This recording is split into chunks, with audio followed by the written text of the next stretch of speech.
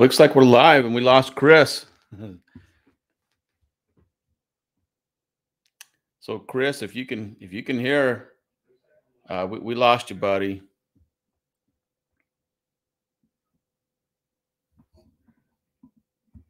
Well, while we're waiting for Chris, hey, it's it's it's good to be with you guys. Um,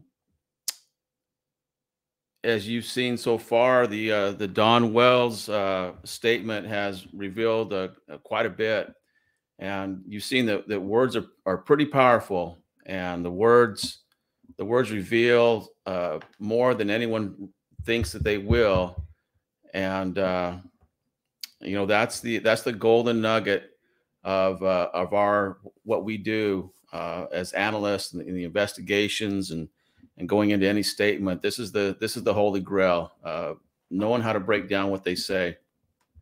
And uh, man I, I, can't stress how much it how much of a difference it made in my uh, law enforcement career and is still making a difference in the in the cases that I assist with I assist law enforcement with and uh, and other corporate and and private uh, other investigators. It's just a unbelievable tool what we're doing here with with Chris, um, you know, Chris's interview with with Don Wells is was a fantastic interview, and um, Don doesn't realize it. Well, he does now, but he didn't realize it then that that he he really revealed a lot more than uh, he revealed a lot about himself. There's Chris. I got knocked out of my own uh, my uh, the the beginning here, so I apologize for that. um, anyway, hopefully the uh, this uh, will hold up. Uh, t- take it over, Steve. Keep running. Whatever you were saying. well, I, I, will in a minute, but go ahead, do your thing. It's it's it's your crew. It's your it's your group. Oh no, this is uh, it's great having you here, buddy. It's good to see you. it's always great to be with you. You're I'll a top notch individual. So anytime I can hang out with you, I'm I'm a little bit better. So any anytime. Well, you're living on faith. You're living on faith, brother. and uh, uh, hello, everybody. It's uh, good evening and aloha. Welcome to the interview room, uh, part three. Uh, and boy, we've got a lot to cover tonight. I um, let me let me get set up here because I got knocked out just for a second. Whoops, there it goes again. Whoop, it's back. All right, let's see what's going on here with my uh, internet, but I'm going to share. Uh, so, Steve, so tonight we're going to do part three uh, of our uh, the call with Don, and uh, also um, I've got a another call that um, I want to play. Now, this call is from Don. He called me again. Uh, but this one, uh, you know, I got to be honest with you, he was, uh, it was, it's interesting. Okay. It's interesting. Now, there's a couple of uh, words here that I need to uh, make sure that it doesn't go over, you know, YouTube. Uh, so I may have to stop uh, and then I'm going to read through it and then I'll play it again. But it's only a three minute call. And uh, I'm going to let, uh, let me get in here, set it up. Okay, so this was a, a call from Don, another one. And uh, I'll just let it play. We don't. Uh, we don't necessarily have to, you know, break this one down in totality because I think it's going to be pretty obvious. Okay. Um, so let me tell me if you can hear it once I start playing it. Okay. Give me and Steve, if you can give me a thumbs up that you're hearing yeah, you it bet. on your set. You bet. Okay. You ready? All right. Here we go.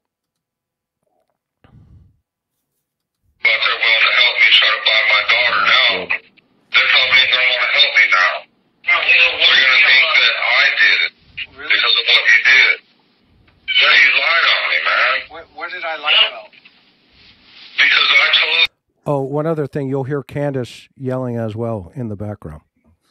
told you the truth, and you twisted it all. Okay, what, That's lying. what did I lie about? It might be. Tell me what that I. might be your opinion. Tell me what I lied about. everything. I told you that, like for one, that yeah, me and my stepsister had something going on when we was younger, and you put on there that it was me and her daughter. No, Are you crazy? no, I didn't. yeah, you did. I said it's your stepsister. Uh, I guess my niece or whatever she's supposed to be to me, the one that says I raped her, which is a hundred percent lies. Trish never said you raped her. What it says on her video. Well, that's her video. That's not mine. Yeah. So what did what does Trish's statement have to do with me? You put her statement on your show, But I on your podcast. because I watched her statement, and I and I wanted people just like you to know the truth.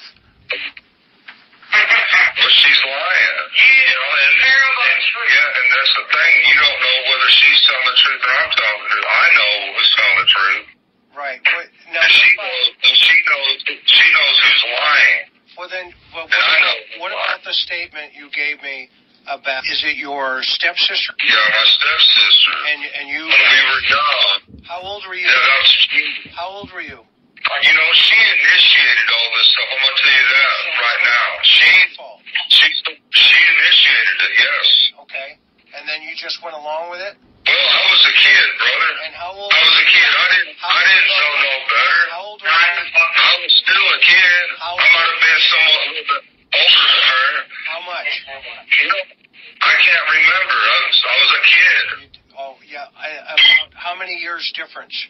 Do you remember? There's a little bit of difference there, you know. How many? But she still, she still initiated it and stabbed me in my back. How many years different? Man, there ain't no talking to you. I can see that. You're gonna twist everything I said.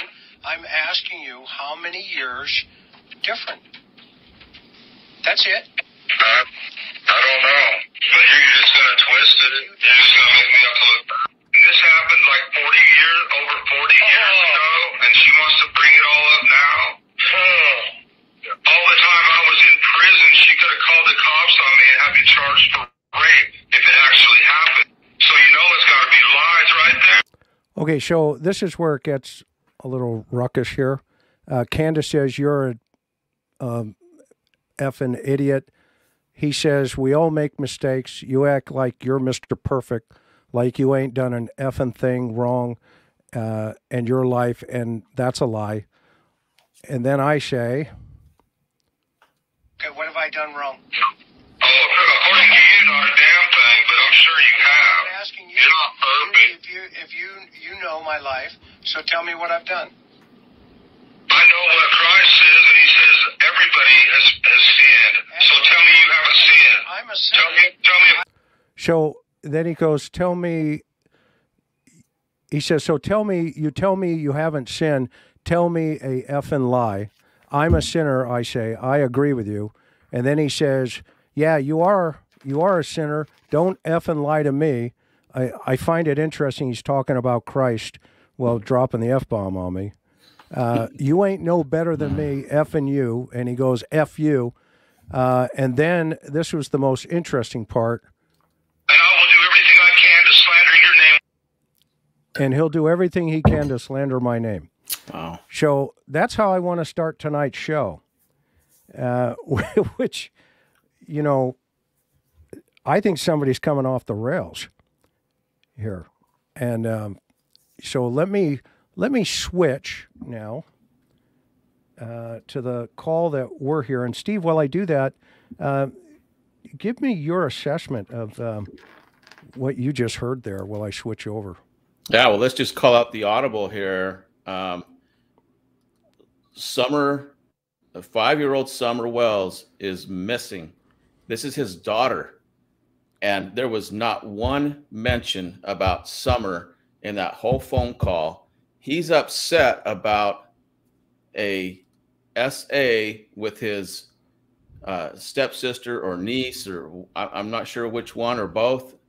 That's that's what his concern is not not summer. And she wasn't mentioned once. So anything that we have mentioned uh, in the last two episodes about summer was he was not concerned about that. The only thing that he was concerned about was was this this SA thing, and uh, you know, I found that obviously very telling. It's uh, his concern is not on Summer, and Yeah, which- that's where it should be. Yeah, which kind of leads us into I thought the I thought the fact that you know he kind of came off the rails on that without mentioning Summer. I mean, I you would have expected him to you know just kind of come unglued on me about Summer. Okay, Yeah. but instead instead it was about you know the allegations that his family has made about them, uh, and he you know so the fact that he also says that a five year old initiated SA uh, just blows my mind. Uh, you know, I mean, Yeah. his daughter, his daughter's wearing a Paw Patrol, you know, jammies, and um, I don't know. Uh, they're Uh, so it, it's kind of a unfortunate segue into tonight's third part because really this is where you know we get down into the meat and potatoes of of what you know his first statement was and now the second statement just actually makes the first statement even stronger Sure does. I agree. um, so, Steve, I'm again, you know, if you're new with us here tonight and you're just joining us, uh, first of all, thank you for being here. Uh, Steve and I are grateful. Uh, we, uh, the interview room, I mean, we try to bring you the most, uh, you know, clear cut, truthful uh, pieces of any type of true crime that we can, uh, you know, report on. And this is one of those channels that, you know, we're not going to run around with speculation and all this other stuff and hocus pocus and you know point people in the eyes and all this other stuff. If it's true it's true. And that that truth sticks for itself. And when you hear it from the person who said it uh, you can't get any better bingo card than that right. Yeah. you know it's as clear as day and Well it's said. Yeah. you know what I mean? So uh, that said, we want to thank all of our mods for being here. Miss Sophia, our our, our leader, Maui girl, uh, Mimi J2, Four Sons mom, Mrs. TJ. Uh, thank you so much for everything you do. And if you're new to our channel and you just subscribe, thank you so much. Uh, we're grateful that you're here, and that's the only reason uh, we do this is because of, of you, our subscribers, and our members. Uh, and hopefully, uh, we're able to support law enforcement and victims' families uh, through these types of tragic events with our experience. So that said, Steve, uh, if and also guys, if you're not familiar with Steve Johnson, he is a forensic statement analyst as well as a forensic writing analyst. Uh, he's one of the best in the world. He trains law enforcement all around. Uh, internationally as well as uh, nationally in the U.S., et cetera, Europe, you name it, he'll do it. Uh, and his links are going to be below uh, at the end of this uh, as we go along here. Uh, I hope you're going to learn something pretty cool because every time I listen to him, uh, I certainly picked up uh, something more. So, Steve, I'm going to follow your lead. Where uh, we left off at 26:37, uh, you you do the stop start, and uh, we'll go from there. Does that sound like a plan? Yeah, that sounds good. We've got a lot of lot of ground to cover, so I think we'll uh we'll just we'll just pick the uh I'll just stop you on the the most obvious sections. Uh, I know there's a lot of people listening that have some some uh statement analysis uh, training and you're going to say, "Well, what about this and that?" There's going to be little things, but but I'm going to pass over some of the the less significant things and we're just going to focus on that which is most significant so that you know, to make the most of our time that we have here tonight. Okay, and uh, D man in the back, if you could slow the chat down, if there's a if there's a way, uh, we'll do that. And uh, and if not, please be respectful of our mods and one another here. We we're grateful that you're here, but uh, please treat each other uh, with kindness. Okay, that said, here we go. Right, but that was different than you, though, right? Did you? Yeah, but I, I did. Yeah, I went. I looked everywhere. Also, yes. And what about the door? You know, I don't remember. But I do know that the boys, we we we cuss them and cuss them because they just leave it wide open all the time. Right. You know, and I'm like, man, you can't. You got to keep that locked or shut, and and they just don't listen. Yeah, for Hey, context. Chris, I'm going to stop you right. Yeah, go ahead. Yeah, no, go you you go. I'm listening. Uh, I, I, what I was going to point out, uh, and I'm anxious to hear what you had to say about that, was um, number one, he he's normalizing this that that that that dorm is, is normally left open, and why? He's blaming the boys. Um, he he cusses the boys all the time, um, but it's it's their fault, and so this goes along with um, the the abduction narrative. He it's it's it's um, necessary for that to have. It's one of the theories of how she could be abducted among all the other things that had to align perfectly, uh, which in my opinion is is the chances of all that aligning is is uh, I mean you have a better chance of being struck by lightning than than to have everything aligned in order for that to happen. But uh, this is narrative uh, necessary for his narrative. Yeah, and the other the other piece I was going to say, Steve, for context, uh, Candus in her statement says that the boys were locked in the house, nobody in, nobody out. Oh. So okay. That means the door downstairs had to be locked. And now I think as this narrative has, you know, continues to create itself, okay, that it's now gone from, well, it could have been, I don't really remember. Uh, and now he's been saying, you know, Don's been saying, no, the door was open. Okay. So, you know, that's that's it their keeps opinion. changing and, and yeah, it keeps yeah. changing. It's, it's it keeps it's a he moving keeps adapting, target. like you pointed out. Yeah, and oh, by the way, yeah, he he did some doozies over the last uh, since the last video, but uh, we'll see where that goes. But let's keep hmm. going. You ready? All right, sounds good. Right. Could could, could Summer open that door? Probably so. Yeah, I would say so. Yeah. How many times have you can see her open it if you know? She's, I, I don't know, but she's pretty intelligent for her age. She's real intelligent, very smart, very agile. Yeah, Miss um, Rob, Miss Robbins said that too. So one thing I have picked up, Steve, since we've been doing this, yeah. and every time he's asked a hard question that may have a connection to potentially somewhere in the middle, the truth, he answers, "I don't know." Okay or oh. I don't remember, like you pointed out the other day. Okay. And that became really apparent when all I was asking him on that last phone call is how old was she? Okay. And how old were you? And he kept trying to deflect the question with, I don't know, I don't remember. And here we see it here when I asked him about the door. Okay. He he says, uh, how many times have you seen her open it if you know? I don't know.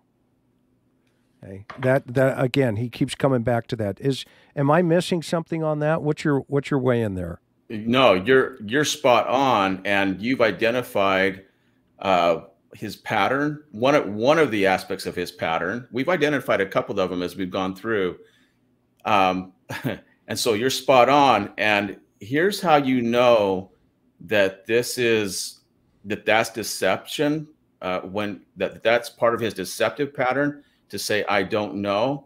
Because what he's doing now is he's giving you a he didn't just stop there and say I don't know. Now he's going to explain how that could have happened. I don't know but and but's one of those words that that most of us we just gloss right over it's an invisible word it's, it's, it's, it comes out of our mouth and our brain effortlessly. And what does it do? It refutes or minimizes what came before it and what makes what comes after it more important. And what comes after it, it's an explanation as to how that could have happened. Yeah, Summer could have opened that door because she's pretty intelligent for her age. She's real intelligent, very smart, very agile. And so he explained it. He gave you a, an explanation as to why that could have happened. It wasn't enough. He was feeling stressed because you identified, no, this is what it was a it was one of those questions that that that put the the fear in him, the stress in him, and he and now he had to explain it. Even it wasn't it wasn't uh, good enough for him just to say, I don't know. And if that really was the case, Chris, he's done. No other explanation needed. Just uh, I don't know. And if he's telling the truth, the, the, the truth stands tall and strong and it needs no explanation.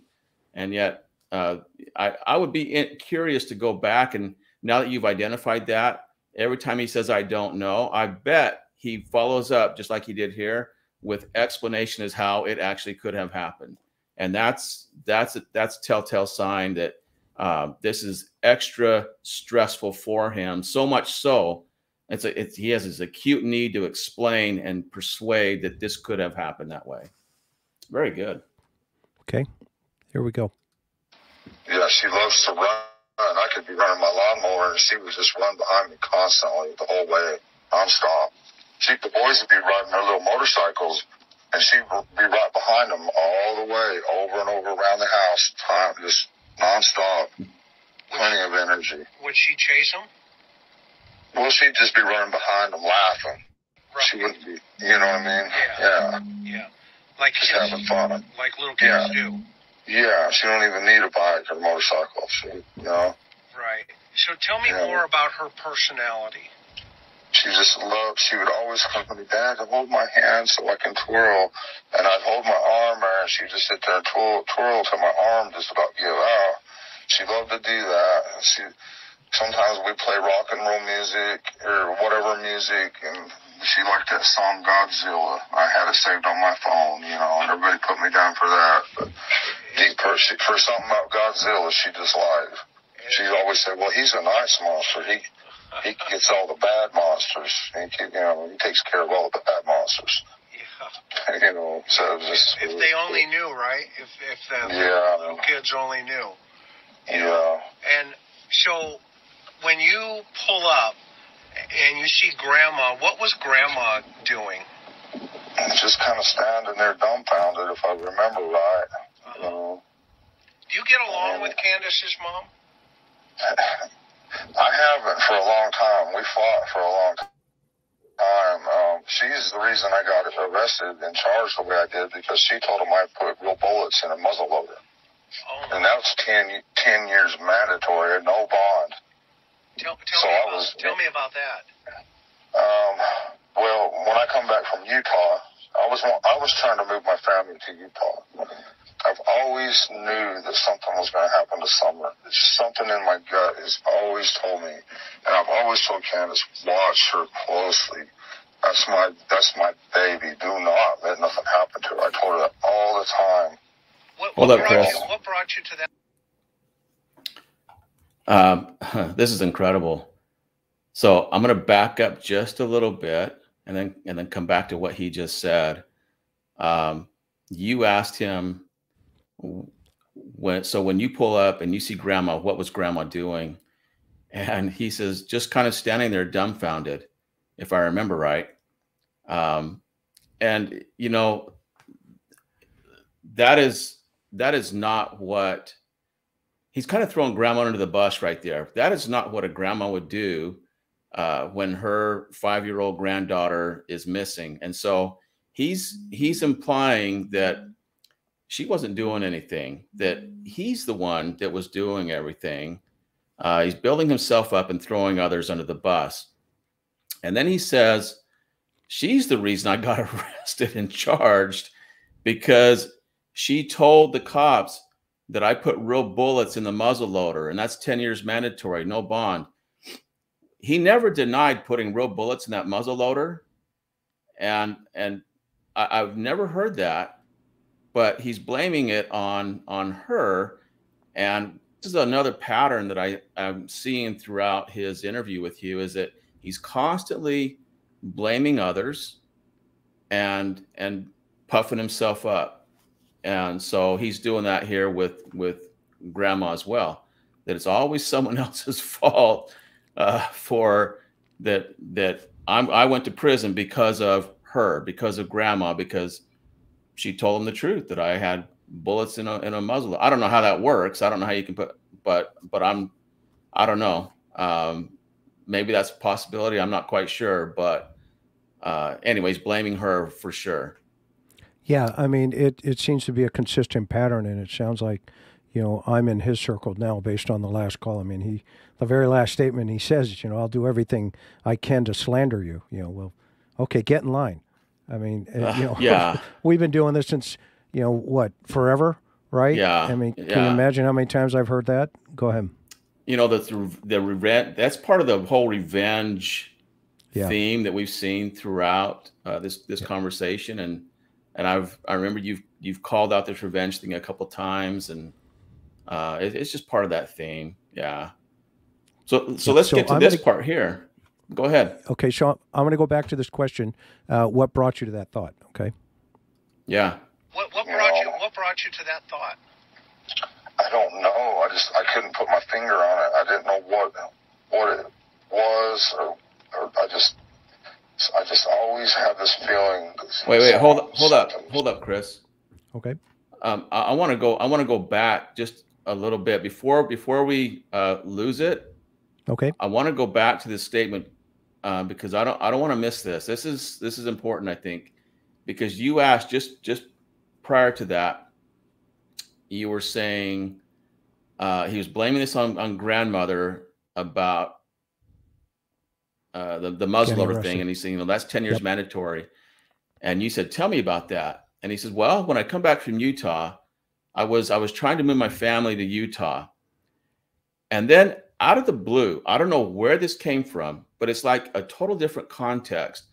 Uh, there was something something that triggered this, and I haven't quite put my finger on this of what triggered this. But he says, "I've always knew that something was going to happen to Summer.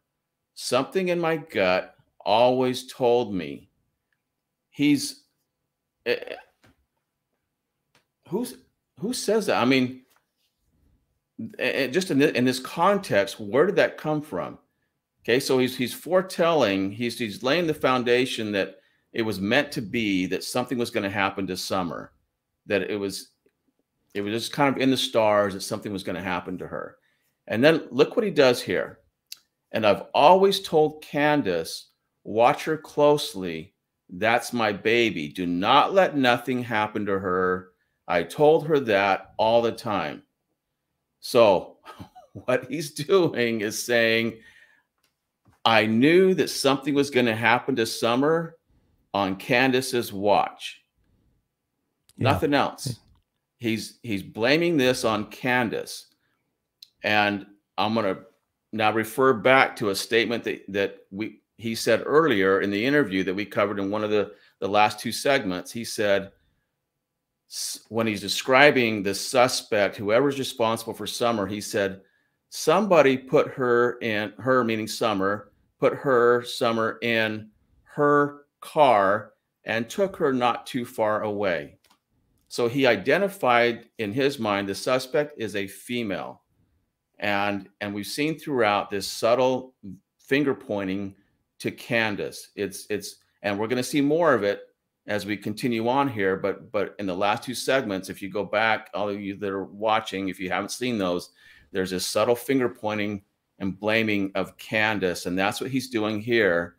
That I always knew it was going to happen on her watch. It's her fault.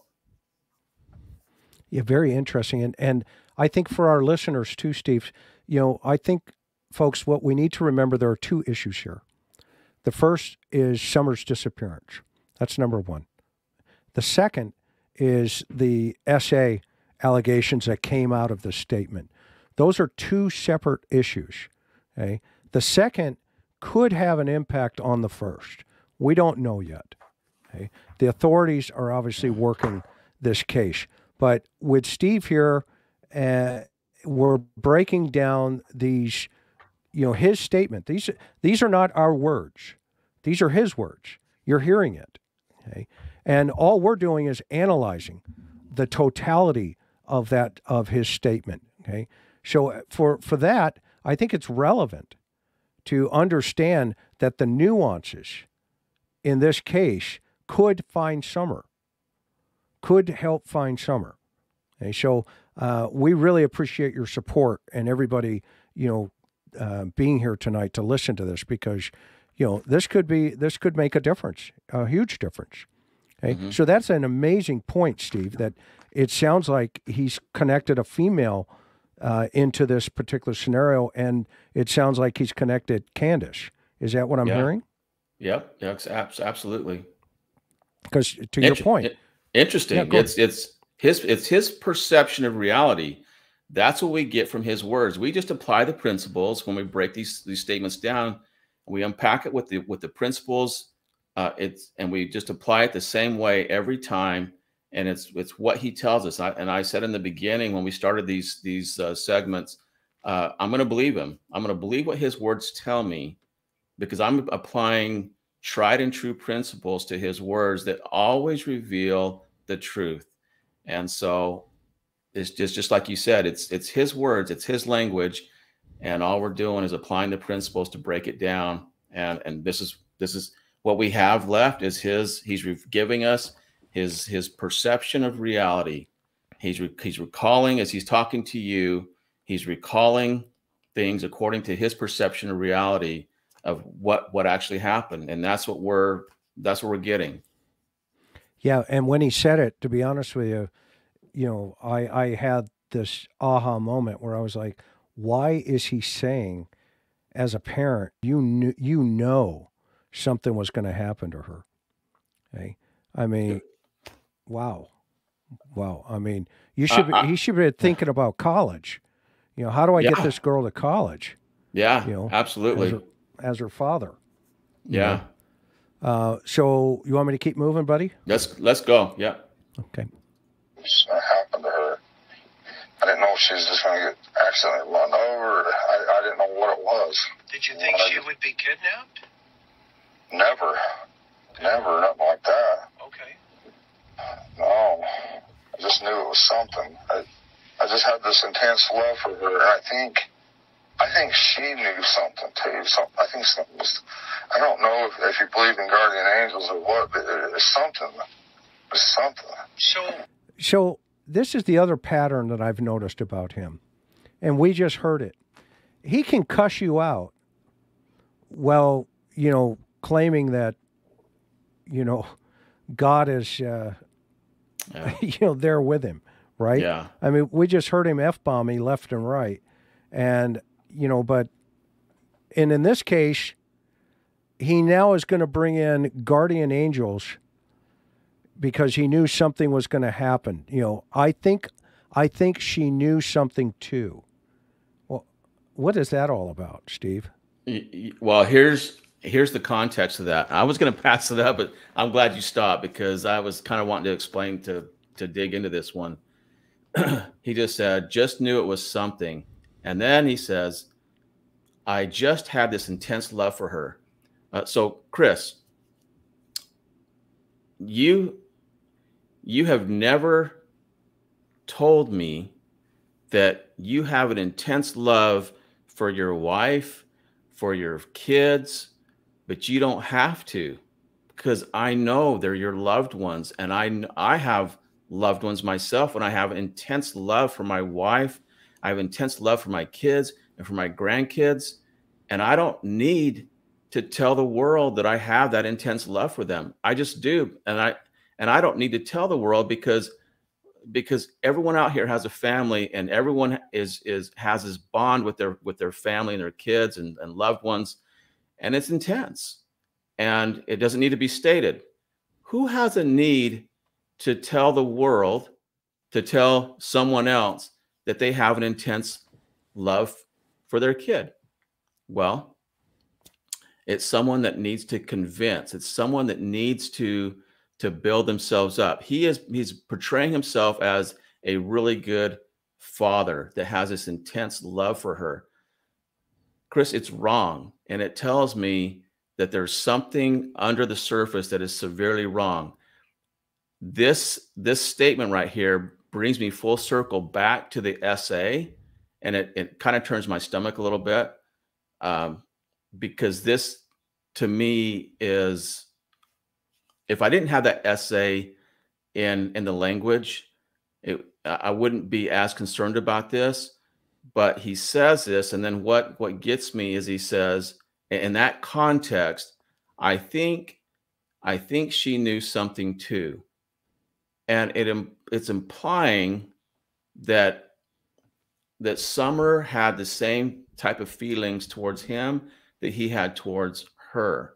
Now, look, I I have I have daughters and and I have and my daughters, uh, you know, a couple in particular are are daddy's girls, and and they you know, it's just that's just the way that it works out. Um, and and and you know that's the case with every family. He has a different context. He has a different uh, type of of love we've seen in in prior language, and so this is what concerns me. Um, and he's he's kind of putting it.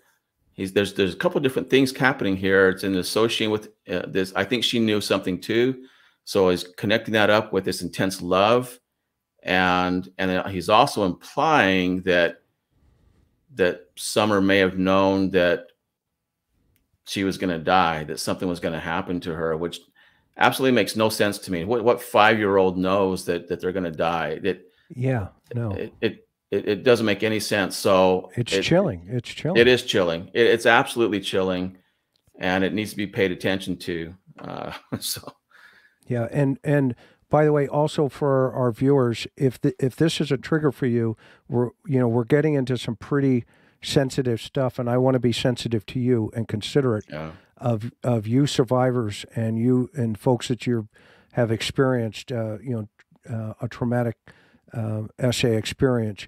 Uh, please consider, uh, you know, coming back later if you have to.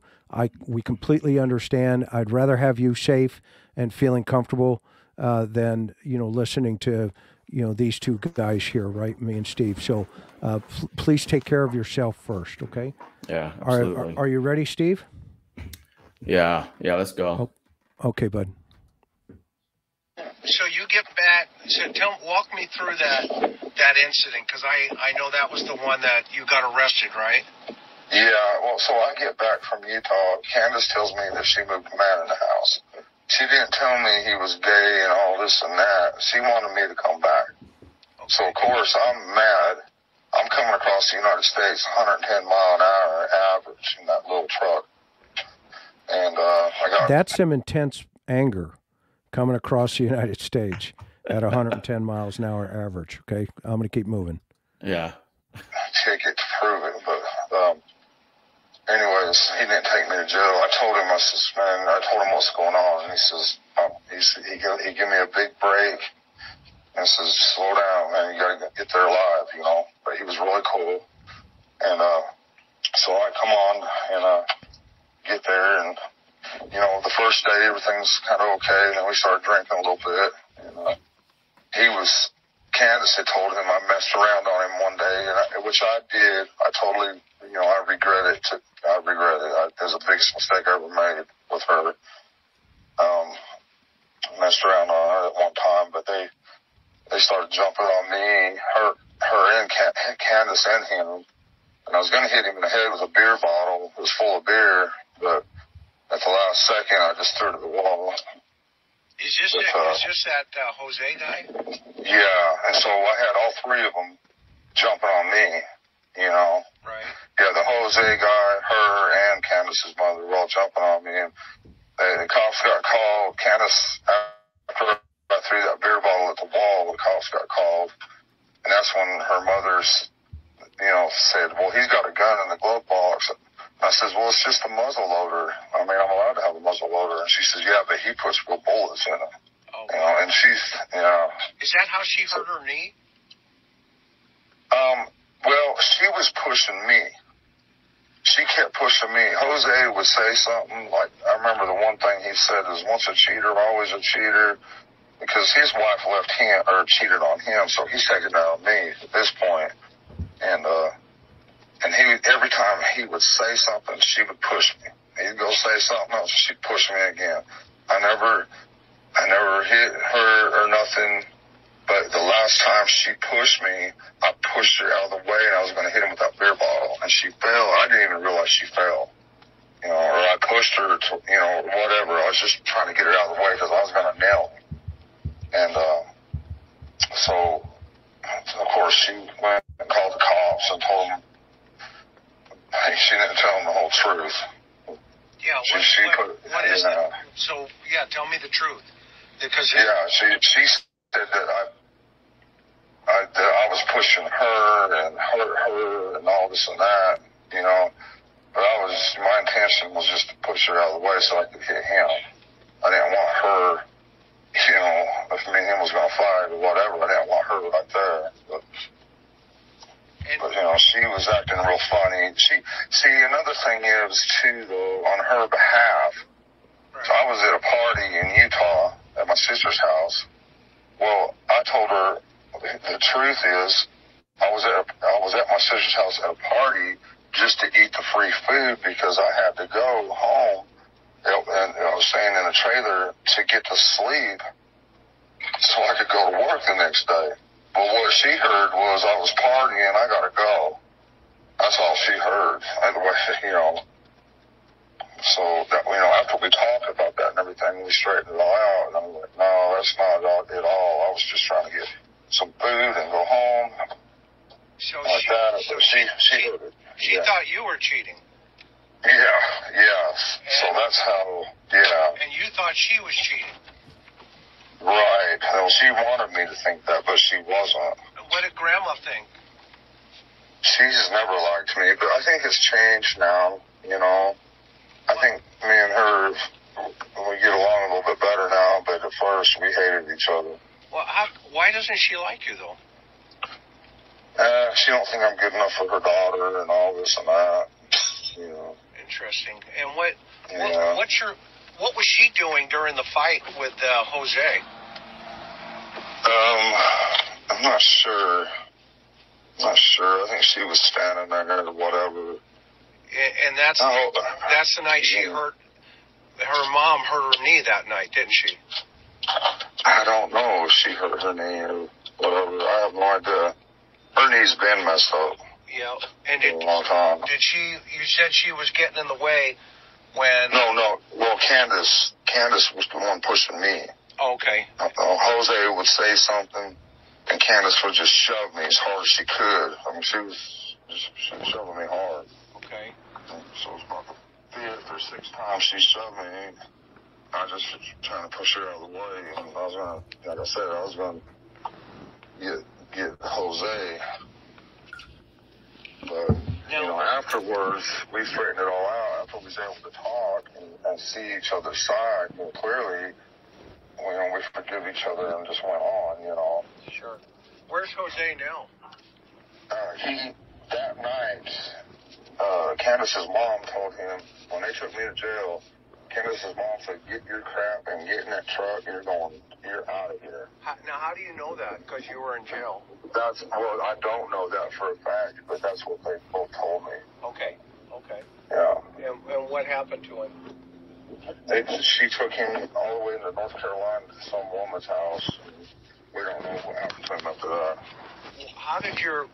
How, why would Grandma take this guy to North Carolina? Because she was just tired of him, tired of his BS. But North Carolina is kind of a drive, don't you think? It depends on what part of North Carolina uh, you go to. It's over, just over the mountains there. The border's right on, you know, the top of the mountains. Okay. Okay. So, Uh, over by uh, is that Cherokee in that that area? uh, you know, I don't know. I have no idea. I'm just going by what they told me, you know. Yeah, that's But I believed it. I believe it. You know. Now, and then, so getting back to the baby here, because this is Right. all this information. I appreciate. it. I'm just you Yeah, no we're gonna problem. flush. We're gonna flush through it. So Yeah. now, when you get back to the house, do the cops ask you to hang on and stay on the property, or walk me through that that day? Um, well, they they kind of want me to stay there or whatever, but I'm like, man, you need to let me go question at least the drug dealers that I know of and find out, and let me at least try to figure out something. I can't just sit here and do nothing. Do, do you So think a were- drug dealer took her? Not that I'm aware of. I mean, I've talked to Fred Hill, and he might wheel and deal to keep himself going or whatever like that. But I just don't see him as being that kind of a person. No. Have you have you known any kids to be traded for dope? Hey, Never hold up, Chris. life. Okay. So let's just, and I'll use your words. Let's just flesh this one out a little bit. Uh, I love that word, by the way. Um, so it's it's just interesting here how he's, and I'll back up a little bit. Uh, remember when he said he was on his driving 110 miles an hour to get here, and and the cop stopped him, and the and the cop was really good to him. The cop gave him a break, and was he he's portraying himself as as being you know uh, the, the cop had empathy and sympathy and empathy for him in his plight to to get home and and so uh, you know good good relationship with the cops at that point and and now we get here and he kind of does the same thing. Uh, you asked him what did the cops ask you did they ask you to hang on and stay on the property? Walk me through that day. And and you and i both know and we talked about this a little bit last time uh, when when we have a scene like this we don't want we don't want the parent the family going anywhere. We want them right there in case we need them. And so we'll we'll put we'll assign somebody to stay with the family and and if we have to assign three or four people then we do that depending on how big the family is what the dynamic is. But we want them there. We're not going to let them wander off.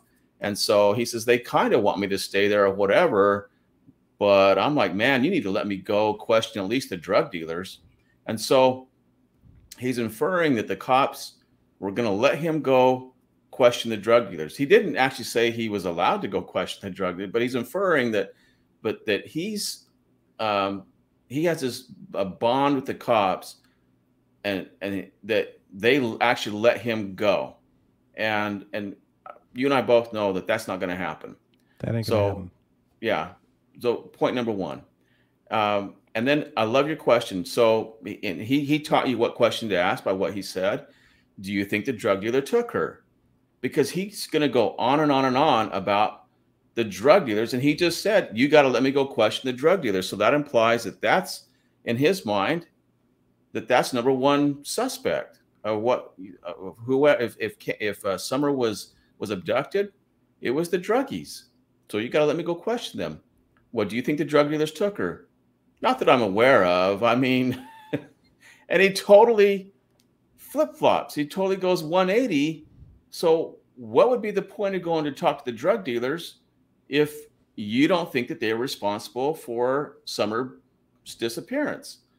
And it's just it's just as a bizarre as you said it last time. It's it's a combo plate. We get this, and, and I call it word salad. He's throwing everything he can out there, but then now he's actually kind of comes to the drug dealer's defense do you think they did it? No, no, they, they can't do it. And he's gonna he's gonna come to their defense a little bit more uh, as we as we move along here. I think just in just a, another few seconds. Uh, so yeah, you can li- listen for that as we come up to it. It's just uh, he's flip flopping all over the place here. Yeah. So uh, the question right before that is: Have you known any kids to be traded for dope? And to your point, what you just said, never in my life so I'm going to pick it never up right in there. my life. I couldn't. I've never even heard of anything like that before. Okay. I, I think it'd be interesting to see if one would even do anything like that because I think most of them tell you that they'd probably beat the hell out of you. Yeah. And, or you know what I'm saying? I mean, yeah. I mean, Yeah, but you know, I think some of them. Got, I think some of them got more integrity than that, even though they're a damn drug dealer. You know? sure. I don't know. Well, I mean, you know, with the intensity of meth and you know craziness, Yeah. right? Is it possible? Yeah.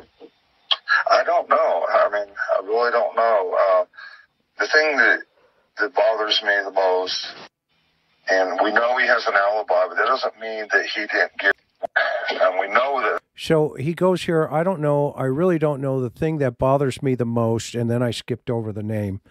And because he would do anything to get at me. And this is the guy I think he's referring, well, I know he's referring to the guy that he fired. And we know he has an alibi. So he, he gives him an alibi. Okay. He says, we know he has an alibi.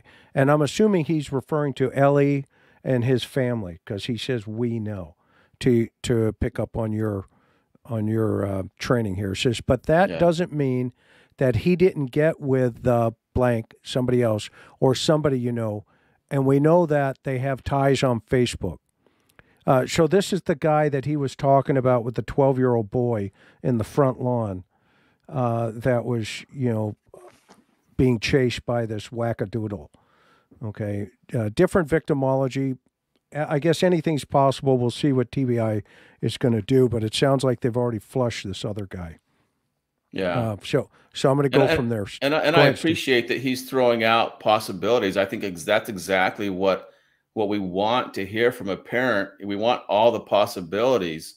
Um, but if you're going to throw, if you if this is the one you sus, you know, if this is the person that you suspect, and this has been what two months, I think, after you know when you did this interview, has it was it has two months since Summer disappeared? Uh, yeah, I mean, it's been it was a month and a month and a half or thereabouts. I got to check the exact date. Yeah, so something in there. Uh, so he's had time to think about this, and um, he's still. This is his his narrative, and this is what he's trying to to get across and, and push. That go focus on this guy. I know he has an alibi, but I really think that this is where the focus needs to be. And it, Chris, it tells me that he's grasping he's grasping at straws here. Uh, he I know he's been cleared, but he has ties to other people, and and this guy is the owner, So he's Chris. I think he's he's kind of running out of he, he, he- There's no there's no substance to to his narrative of the abduction, and and this this is a good example of it. I want you to focus on this guy, but I have nothing to back it up. And and I know he's been investigated, and he and they and he has an alibi he's grasping at straws to to keep that narrative alive of the abduction. Yeah, and that narrative is the abduction not Yeah. not that not that somebody you know could have or who does drugs right i mean you and i would both uh, agree that is is this you know because in my mind there's only a couple options right and it's an accident uh you know the fact that if it if this is a random abduction i.e. a stranger abduction i i don't know the the the methodology of this kidnapping it, as you and I have talked about extensively, and Coop and, and others, the, it just doesn't fit. It doesn't fit. Right. And so either the suspect knows that property and is there and is familiar with that property, it's an accident, i.e., a swing, stairs, or whatever. People panic. Okay. Where Yeah. this drug transfer, you know, comes in, th- this is, he's been introducing this narrative from day one Yeah. with with this thought process that you just pointed out, I always knew something was going to happen to her. Right. Yeah.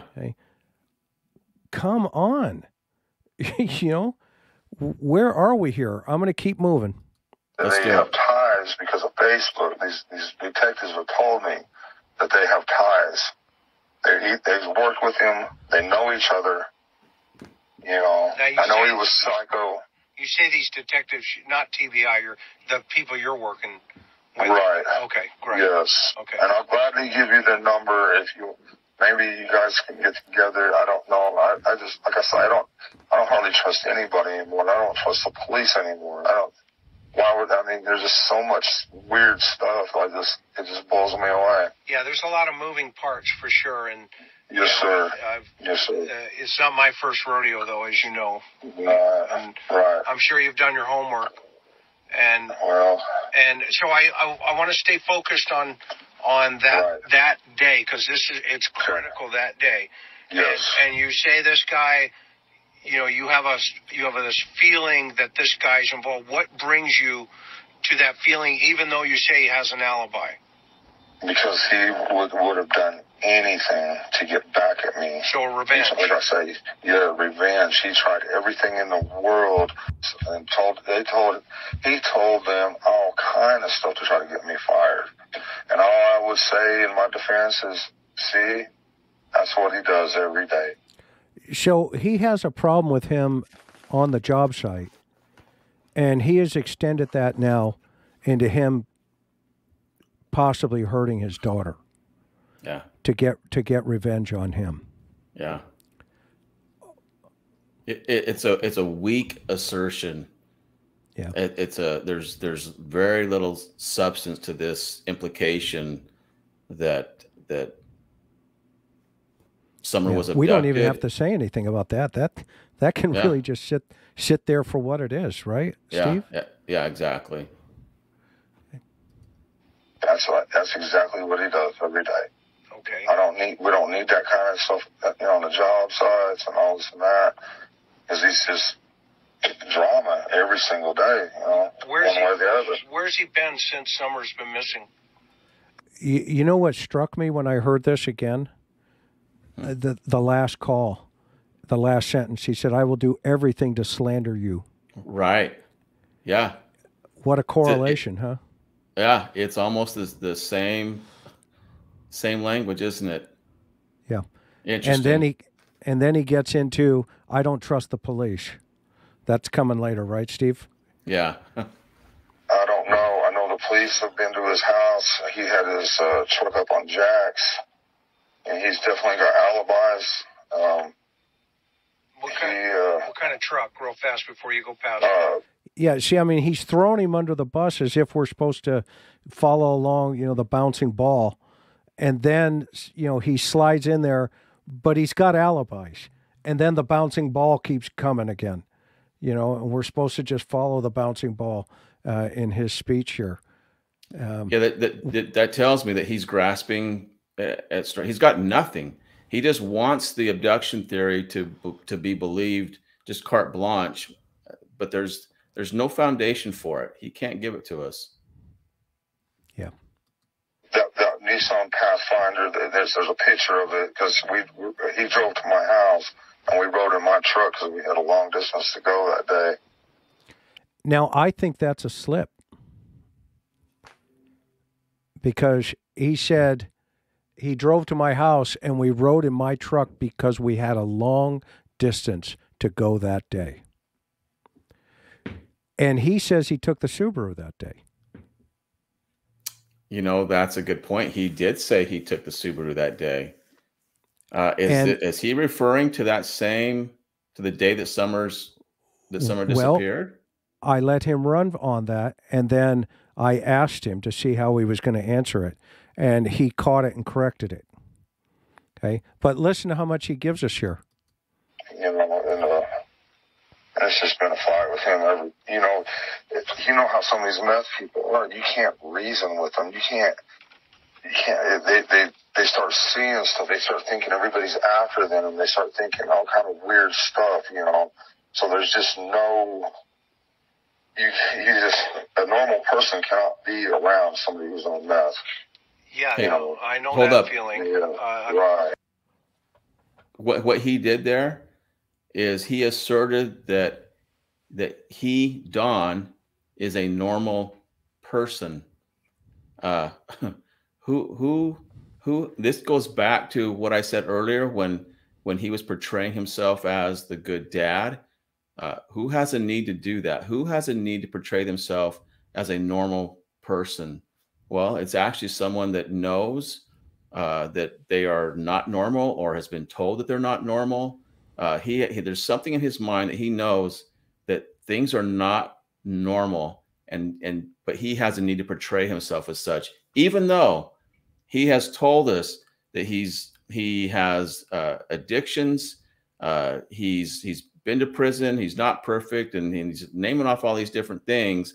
He's told us that he's uh, been in in uh, these SA type relationships and, and and myriad of other things. Yeah, there's reason to believe that he's not normal. Um, so anyway, I just wanted to point that out before we got past it. That there's just just more indication of what's going on. We're getting we're getting deeper into Don's mind here. He's he's telling us, and uh, there's something Yeah, so- something not not right. Yeah, and so you know we'll give him a mulligan on that day, right? I mean, he could have been talking about the day before where he fires this guy. You know, they rode the truck together, uh, but I I find it interesting. Could it have been actually that day? Uh, right, because that would put that guy on the property if they came back together. It would, and So- and Mhm. that would that would actually explain this normal person thing because if it was that day and things were and and there's some kind of involvement here, um, then obviously he wasn't acting like a normal person would that day. He wasn't acting like a normal dad would that day. So uh, that would that would fall in line with that, Chris. Okay. And and so what, what color was his truck? Yellow. There's a there's a picture of it somewhere. I can't remember where. It's somewhere on Facebook or somewhere. It's been going around, but it's it's pictured. You know, oh, that, where summer's dancing in the rain. You can see it in the background. Yes. And was he on the property that day, if you know? Yes. Yes. So there you go. Oh, yeah, there I you asked go. him the question. I tied it together, meaning I asked him, was he on the property that day? And he says, yes, yes. And then he corrects himself. He catches himself again. What time? When he well, well, when we come back to get, you know, we come back and he got me. And and he stopped. When we came back to get pause, He then he got self-censored. then Circle my home. then he got his truck to go home. So that was kind of confusing to me because I felt maybe he was throwing himself back into the Subaru there and that they didn't drive together, but that the guy came over, parked his truck, and they went together in the Subaru. Uh, that's still, what do you call it? Salad? Word salad? What do you Word salad, yeah. it? Yeah. Well, that needs some dressing, Steve. That needs some dressing. I I need you to take a look at this one a little bit further, but we're going to keep moving because I, I need you to. We need to talk offline about that one because I'm still kind of confused. Is this guy on the property?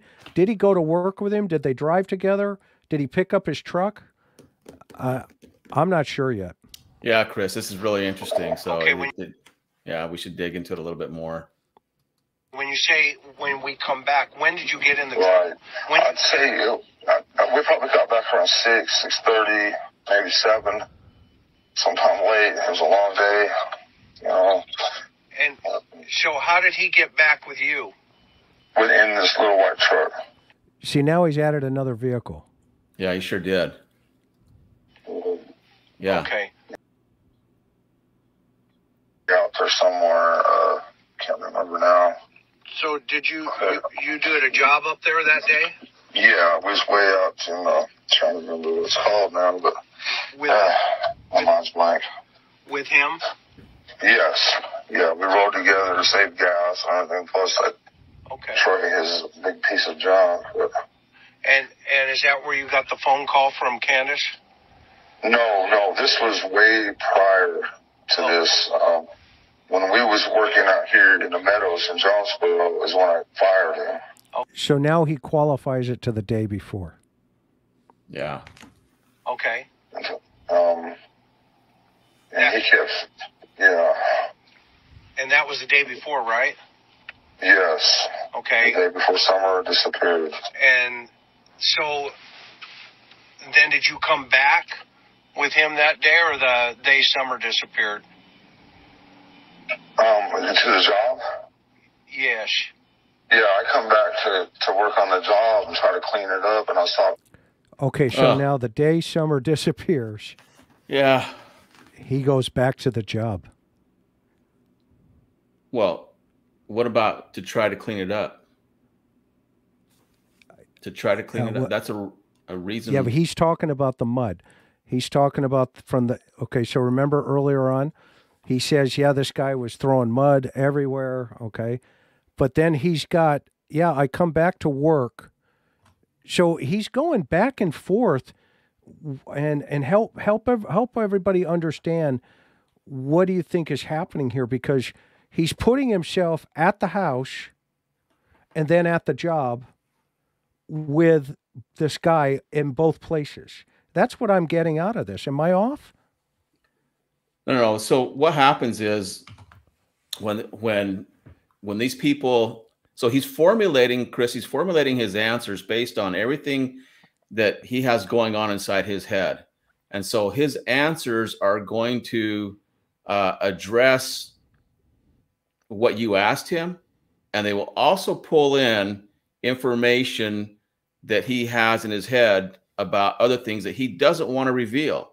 but it's just the way that it works. That our our brains were made to communicate, and they communicate beautifully if we just slow down and listen.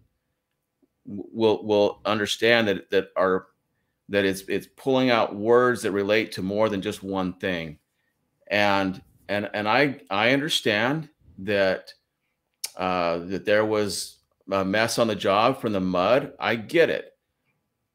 The fact that he should that he Chris, you could just say I went to work, you know, and and I went back to work, and uh, you know, why why the need to say that I that I had to clean it up? I, I just find this interesting. Look what he says. Uh, you asked, well, he asked to the job, and and so he said, then did you come back with him that day, the day Summer disappeared? And he says he asked uh, to the job. Uh, he, so he's specifying. You said yes. Well, he says, yeah, I come back to work on the job, and he he puts an and in there to try to clean it up. Chris, it's two separate things. I come back to work on the job, and to try to clean it up. It's a it's a Chris, it's highly sensitive. It's two separate things, and and he's cleaning something up. And for for me now, this could he I'm not saying that um, I, that he is that there's something messy to clean up regarding summer. I'm just saying that there's a possibility here. He has posed it because he divided this up. It's two separate things, and and it's focused on the day that summer disappeared. And Chris, when, when we look at the totality of this and what he's doing, and I, and I and we're going to see more of it come up here in the statement that we have, you know, here shortly. Um, that he has portrayed himself as the one that has that's in control. Um, always, he always portrays himself this way. It's always someone, some other sod, some other dude, some of somebody else's fault, and uh, he's blaming a lot on Candus, and that he has to clean up Candus's mess. Uh, and I'm I just find that this is just an interesting way to phrase this. Why would why would you even add, that in? Is it necessary to add in? Couldn't you just say that I went back to work that day? Just answer your question to the job. Yeah, yeah, I come back to work on the job that day. And but he it, for him it was necessary to say that he had to clean something up and to try to try to clean it up. Say so it was uh, like a like a problem for him to try. So yeah, and I've, I've uh, one of my thought pro- one of my theories has been that Don was home, and Don did go to work, and if he did go to work, which I think he did, but I think he also got home uh, because you know he's got three boys at home, and I think you know people did see him. Uh, yeah. You know what I mean? Yeah. And and uh, so hang on for a minute. I see uh, somebody, Benny Skeezy. Oh, good. Welcome. Uh, so everybody, I'd like you to meet Mr. Lindsay, uh, Benjamin Dwayne Lindsay. He's just entered into our chat here, and he is gone. Sorry. Go ahead. Uh, no. So where I was going is this guy um, goes to work, and then I think he does come home. And uh, you know maybe that's a time frame there, and then he goes back to work. So I, I you know, I'm going to believe these guys that say yes, uh, you know, he was there. Okay, great. Okay, but um, I think there's more to that piece of the puzzle. And uh, I'm glad uh, that guy. I've been waiting for that guy to come in for a long time, so he's he's history. Anyway, sorry guys. uh, and by the way, go say hi to Plano PD because uh, they're coming. Just give you an FYI. Look over your shoulder. Okay, yes, but like worse than other uh, uh, tweakers. Okay, we got that. So keep playing this here some of the guys out there. I was, I told them, come on over here and look at this job over here. Look at this, and they was like, wow. they couldn't believe it. This guy, his work was just horrible, and he's just out there. He is just big time out there. It I don't know. sounds like he was spun, was uh, tweaking. Yes, but but like worse than any tweaker I've ever seen. I, it could have been meth, but but it's like worse than I, anything I've ever seen before. And I've seen some things in my time, but this was like way worse. Like maybe he was mixing something. But it's like, and he goes and tries, and you know, but it's like, it's like He's talking about the guy that got arrested for trying to snatch, allegedly, a 12 year old boy. He, he basically chased the kid into the house, and it looked like he was, you know, his eggs weren't scrambling correctly that day, probably on tweak of some sort. Uh, but anyway, he runs into the ho- into the garage after this 12 year old boy. Can you imagine how scary that kid was? And Oh, he runs sure. into the house where this uh, his mom confronts the suspect and says, "Get out of here!" and calls the cops. Okay, so I, you know, I guess he's got him up on the property snatching Summer as well. Okay, so uh, well, but it's go. a total, totally different mo. I mean, if this guy is is is tweaked out of his mind, he's not Yeah, going to be the guy that that sneaks up on the property and to purposely snatch Summer away. Uh, you know, in, when in stealth mode. This is the guy that does it in broad daylight, and because he's tweaked out of his mind, doesn't know what he's doing.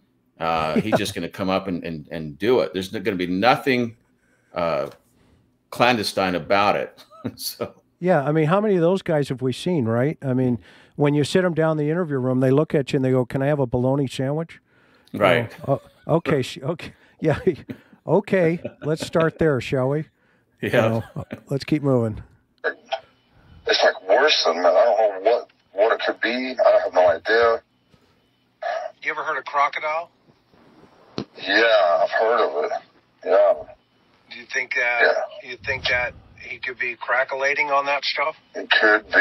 It's something. It's something crazy because, you know, like I, we're supposed to be a team out here, and I'm like, okay, we're gonna do butt joints.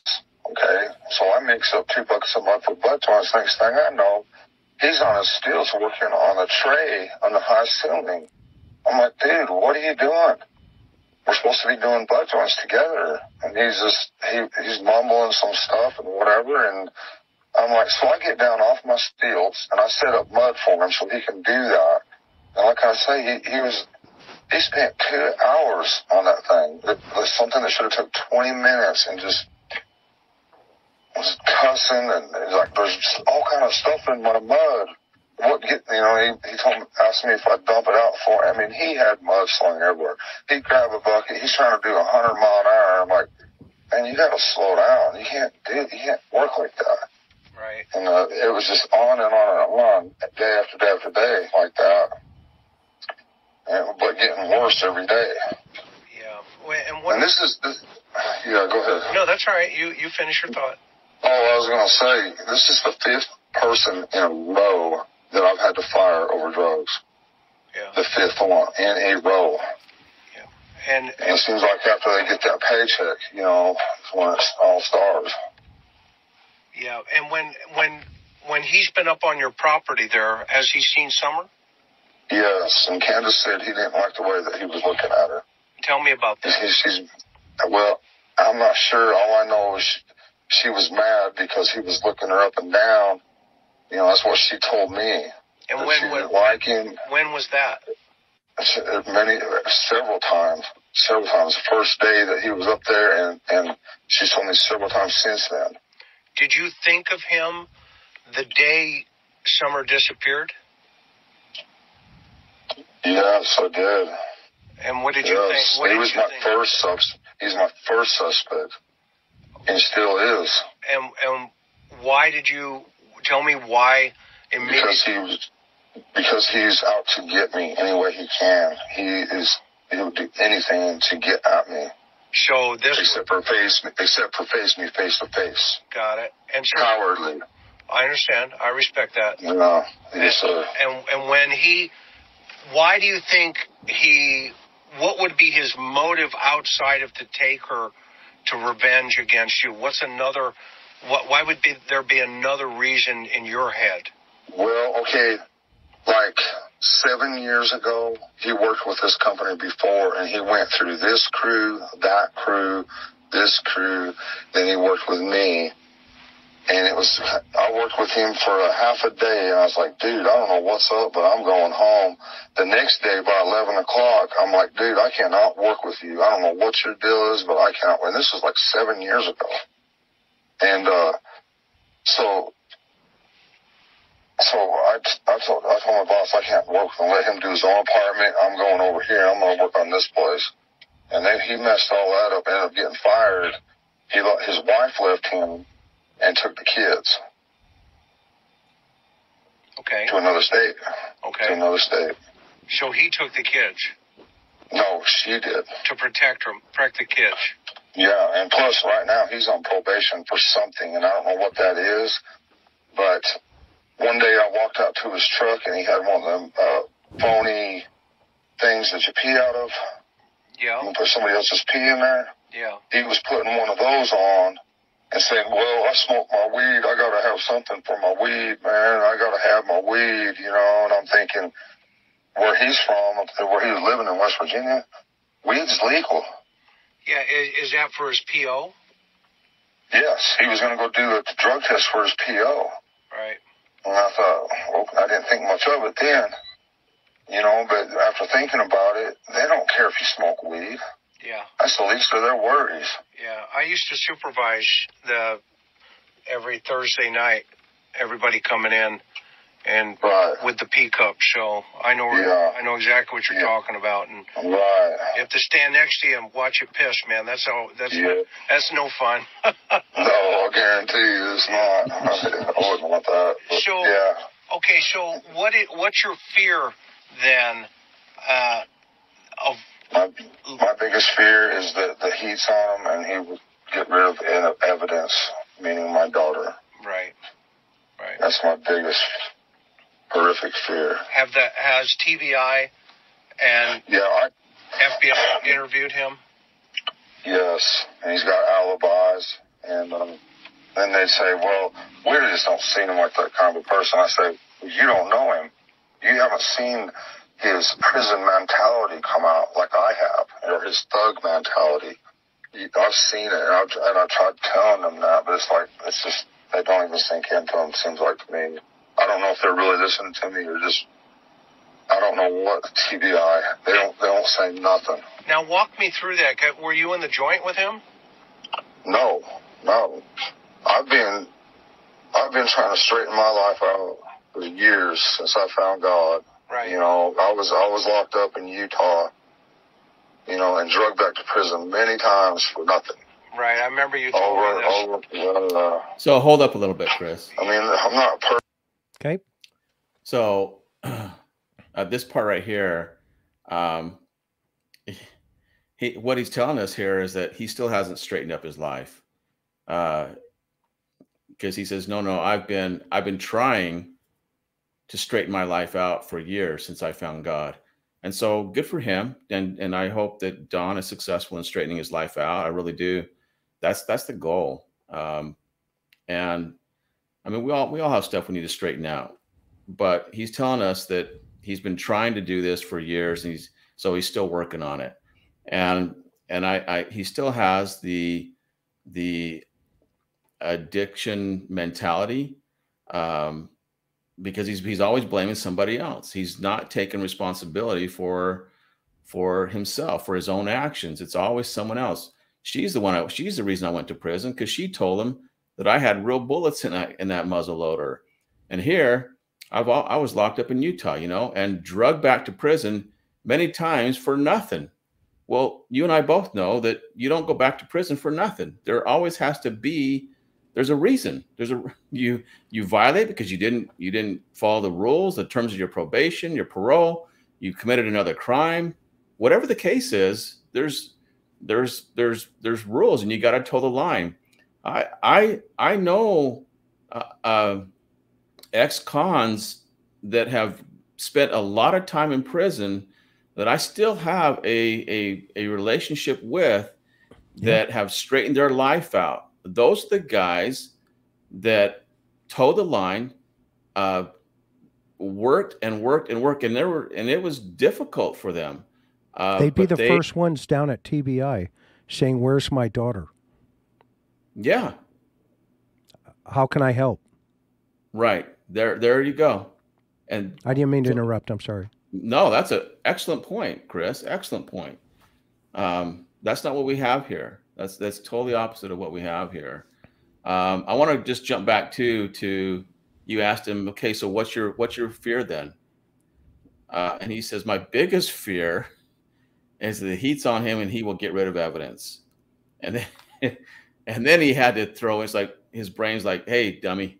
Uh, and I and I shouldn't say that, but his brain said, hey, you evidence is not what you should be focused on. It's your daughter. And so to him, his daughter's a piece of evidence. Uh, Chris, it's not appropriate. It's it's just not appropriate. Um, that that whole that whole that whole narrative right there, um, it's he's just concerned about evidence being being covered up. And and th- this whole thing about this guy, he's got he's got alibis but yet I want you guys to to follow up on this and, and believe this, even though he has alibis. I know the authorities have followed up, but it's this revenge thing. And you know, let's talk about what are what, the numerous other ways that that a, a guy could get revenge on him. And there's numerous ways that he could get revenge. Well, okay, this is the, your suspect because he tried to snatch his 12 year old from the garage. All right, founded. I I buy that but it's like we said before it's a total different this is not the kind of guy that that comes up stealthily and and snatches a, a, a five year old little girl um, he's not able to do that and especially with all the dogs and everything on the property and that we've already gone through it just doesn't align it doesn't make sense Yeah. It, it yeah, it's it's not lining up and um you know, you know what's really interesting is you know, here's a guy that not you know, for remember we have two issues here, folks. Okay. And, and I see what's going on here tonight. I I'm very aware of it. So uh, we'll we'll resolve it later. It's not important. What's important is summer. Okay. And one of the things there are two issues: find summer, and the second issue is the SA uh, to these vic- to these uh, survivors, and and at some point for many many years, one of them 37 years. Okay, she's been trying to figure her life out too. Okay, I have more empathy for her, okay, than I do some guy getting drugged back and forth to prison by a, a parole officer, okay, or anybody that supports that idea. Okay, so you know this isn't my first rodeo, and and you'll find out why. I think uh, you know Benjamin Dwayne, you know Lindsay just found out that. Okay, so we'll play the game. I'm uh, we're, we'll play the game. So I see what's going on, guys, uh, from our from our our channel and our family here. So don't worry about it. But this guy, you know, he, to your point, Steve, he keeps dodging. And I'm sorry I keep getting sidetracked, but I get it. I got to keep an eye on, uh, you know, some of the goofy things that people are saying. Perfect. I'm, I'm, Not about me, I could any care less. You know, I've, I've done, I've done stupid crap. You know, and uh, you know, you get in that revolving door. You know, you can go out and sell drugs or whatever you want, and you're just going to get you a slap on the wrist, do four or five months, and back out. Everybody knows that. Right, right. You get So, violated and they It's like a, it's like a free party, kind of. right. And But, uh, Uh, yeah, I remember you told me that you were at Hill Air Force Base and your PO yes, told your do- your yeah. boss and kind of snitched you out and that kind of. They come out there, they come out there too deep, and whatever they told my boss, he was just shaking in his boots. He's like, man, I can't do this. Yeah. You know? So they got me fired. And what were you in custody for? Can I ask you that? Um, well, I mean, I can find out. You know that. well, yeah, yeah. Um, somebody was, I, I, this guy is having a hard time with. He was messing with my sister, causing her a lot of trouble. And that's just an excuse. There's no excuse for what I did. But I hot wired his truck. I took everything out of his garage. uh, Harley stuff, everything, and loaded through the back truck and sold the truck and all for nothing. But there's no excuse. I did what I did. It was wrong. Okay. You know, I, Um, I've heard worse. Go, go ahead. yeah, but yeah, that. So, another pattern here of behavior from a behavioral analysis perspective every time he commits a crime, he apologizes for it. And then he goes to God. And then he commits another crime. The next story we're going to hear is he was running drugs down into Mexico. Okay. So he's going to apologize for that too. Okay. He's apologized for SA, his stepsister. He's apologized for everything, but the problem is, in a behavioral analysis aspect, is he keeps doing it. okay, it, it, he keeps Right. getting reformed and going to the waters of baptism, and then he keeps going back. Okay, so just pay attention to that. Okay, and you know he's apologized for a lot of things, uh, you know, recently, but he keeps going back. So I want to point that out before we keep moving here. You know, What stuff else? like that. What else you've been locked up for? I mean, what what other things Uh, have you done? I don't remember. Uh, You don't remember? Come on. I, I, well, I mean, I've made tri- I've made trips to Mexico. And there's I don't remember. There you go. There you go. There's there, I don't remember. This guy's gone to prison multiple times. And all I asked him was a simple, you know, thing. What else have you been locked up for? And that's what, you know, cops do, right, Steve? I mean, how many Yeah. times we've we've talked to tens of thousands of these guys and say, and most of them, the the ones who are straight up say, you know, well, you know, I went, you know, I did a, you know, a number, a ticket on this one here, yada yada, and they lay it all out. Okay. And and hardcore gangbangers are even the best. I, I've talked to some major, you know, Main Street Crips, Hoover, Great, Yeah, one, right. you know, Rolling Sixties. I mean, these guys are hardcore, and they're living in the Vadio and in the hood, you know, to survive. Okay, they're not wannabes. Okay, like Lindsay in Dallas. He, you know, he- that kid doesn't even come to the top of the surface. He hangs around with a bunch of hood rats, but he's nothing. Okay. The hardcore gangbangers like Estamophilia, the Mexican Mafia, the hardcore guys with the black hand over their heart, they treat you with respect. And you treat them with respect because that's the rules on the street. Okay. And this Yeah. guy, you ask him a simple question, he goes, Well, I don't remember. Seriously? You know, I'm looking for your daughter. I would remember. I'm trying to help you find your daughter. Please start remembering.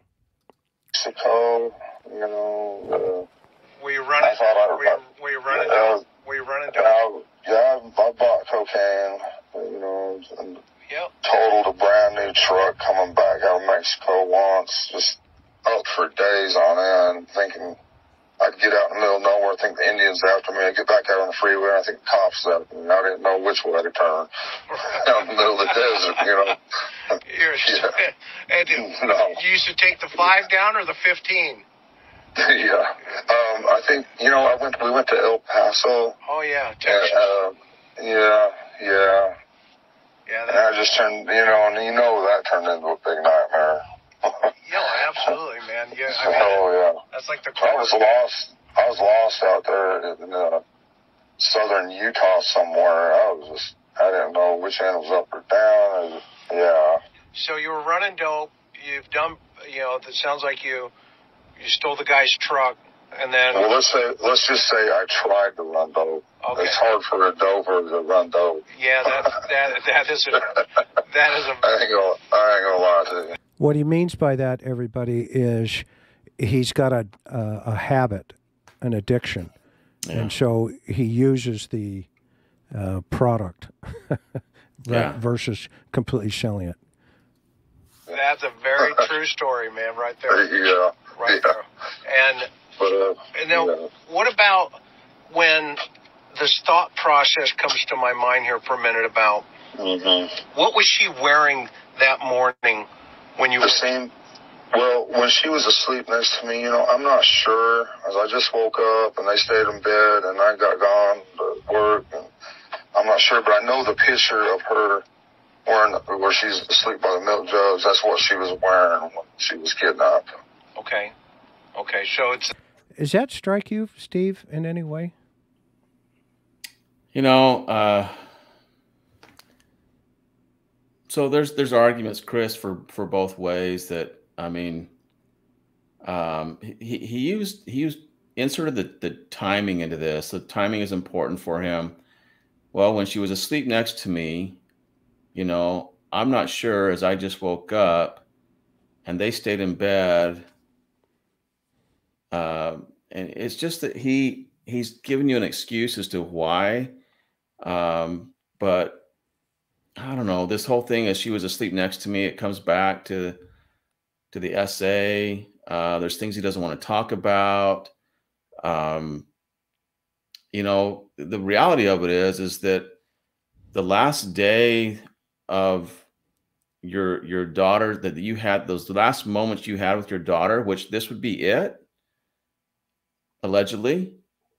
Uh, you remember and those things become very vivid to you and i mean man i just i know when when my my daughters were five years old i mean i they were just you just they're those are your babies you know and and every once in a while i'd i'd go in and give them a little kiss you know before I'm, i went to work and, and you know you just um those those moments are treasured and uh you know chris you know when we go we would go to work you know, we yep. sometimes it was very depending on what was going on. Sometimes we were very aware that this might be the last time we go to work, and so you're sure to give your your your wife a kiss, tell her you love her. If your if your kids are asleep, you'd sneak in and give them a kiss, um, because it, it might be the last. And you know that wasn't always the case, but I remember being very aware of those types of things. I I do know that and you've been through this, uh, unfortunately. Um, but when when it's when you lose a child, those moments are very those last moments are very cherished, and and you know he's wanting to skip over that, and so it tells me that there's things that were happening there, likely likely that he just doesn't want to uh, to talk about. Good point. It's the same outfit. Yes. And is that the outfit Candus said she did she change when she went back in the house, or do we know? I don't think so. That's that's the outfit she was going to wear for her first day of school. Oh, so this is her the outfit. So it had some sentimental value for her. Yeah. Did she yeah. pick it out? I don't. You know, I don't know. I'm, I'm always at work. I do I mean, I'm glad she got to go to all these places with her daughter. You know, for the first two years, 18 months or so, Summer, when she was born, she didn't want her mother. She only wanted me. Wow. And, and I, that just blew my blew me away. I was like, I just couldn't believe it. You know, that she only wanted me. And Candus coerced her all these years by taking her to all these places, fishing and stuff. And it took all this time to get but can't, Summer loved her mother. You know, it took time. And I, I don't know why she was just so attached to me like that. I never, I've never had anything like that happen to me before. And I was just so thankful, you know, I was just, I thank God, you know. Yeah. So I've never had anybody love me like that. Yeah. So Chris. No, I get it. What? So once again, he's uh, building himself up. He's throwing Candus under the bus. Um, he's making this relationship with with Summer. Um, you know, it's it's it's it's almost this uh, like a relationship that, that should that should have been the, the that he should have had with Candus, but yet he's he's it's now with with Summer. Um, it, there's just it's it's not right. It's it's very telling, uh, very eye opening that he how much he um, is portraying this relationship that you know Candus didn't have a relationship with her own mother did not uh, that Summer didn't want her mother. She and he said the words that he uses, you know, she only wanted me, and uh, you know th- those are so that can go both ways. There's babies when we refer to a baby, you know, the babies want their mama, and oh, she, you know, she she she, she wants me, and and and so I get that. Um, but he just the way that he phrases this is is more of a he's skewing the relationship. Uh, I don't like the the word that he said, and Candus coerced her, coerced her all these years. Uh, that doesn't sound real good. And um, if I if I was really going to have time to, to dig into this, you know, it it may come back to that. Candus may have been jealous of this uh, what was going on between Summer and Dad. Um, you know, and so she was maybe she didn't like it. Uh, she was upset by it. Uh, you know, I don't know. There's all kinds of possibilities here, so I'm not going to get into the weeds of it. But but you sure. see what I'm talking about. I think everyone can understand uh, the the point here without getting into the weeds. That there's there's there's something wrong here, and and to go back to the the pattern that you talked about before he brings he invokes deity he brings god into it jesus guardian angels he brings he, he invokes that when there's some point that he he needs to really emphasize meaning that and I, when i say emphasize meaning that something is not right it's not normal maybe there's criminal activity something to him that's not that shouldn't be happening. And so to make it right, he pulls deity into it. And that's one of those things that you pointed out. And he does that right here. Uh, I was just so thankful. I thank God. I've never had anybody love me like that. And, uh, you know, we could go back to all the different things that he said about this relationship. And if you, if you total them all up, uh, it's going to look like this relationship uh, with his five year old daughter was more of a uh, adult type relationship. That's in his language. That's the way he describes it. And when and when you hear Jeannie, who survived his SA, uh, you know, beginning at age five to age twelve, hmm. she tells me this was kind of his mo. You know, he plays the tickle game. You know, up her you know, underneath her pajamas, yada, yada. And I'm not going to go into detail, but I can tell you this that woman for 37 years has not forgotten the, and she told me, she said, I remember the first night, and she was five years old. Yeah. When when he first started assaulting her, and he groomed her till she was 12 and he he actually went he got he went to prison. And that was a break for her. And by the way while she's telling me this and and for the record for everybody i have it on tape i have every word she says and she gave me permission to share this not not in totality and i'm not going to do that out of respect for her but she said the first night he was back from prison she was scared half to death, but by this time she's 12, right? She had a little gap in, in his assault. The first night, he goes back into her room when everybody's asleep and tries to molest her again. And she screams and jumps up and runs into her parents' room, screaming, crying, saying, he has been molesting me since I was five years old. I can't, th- this has to stop. And the mom, which was her mother, and father, which was Don's dad, Don ran out and hid. He took off from the house. And the mother demanded that she go down and file charges with her and the family. And it started a big, big Donnybrook in the family, with the father finding him. And one of his excuses, he got caught twice through those seven years. And both times he said he was sleepwalking and he was caught mm. by his father. Okay?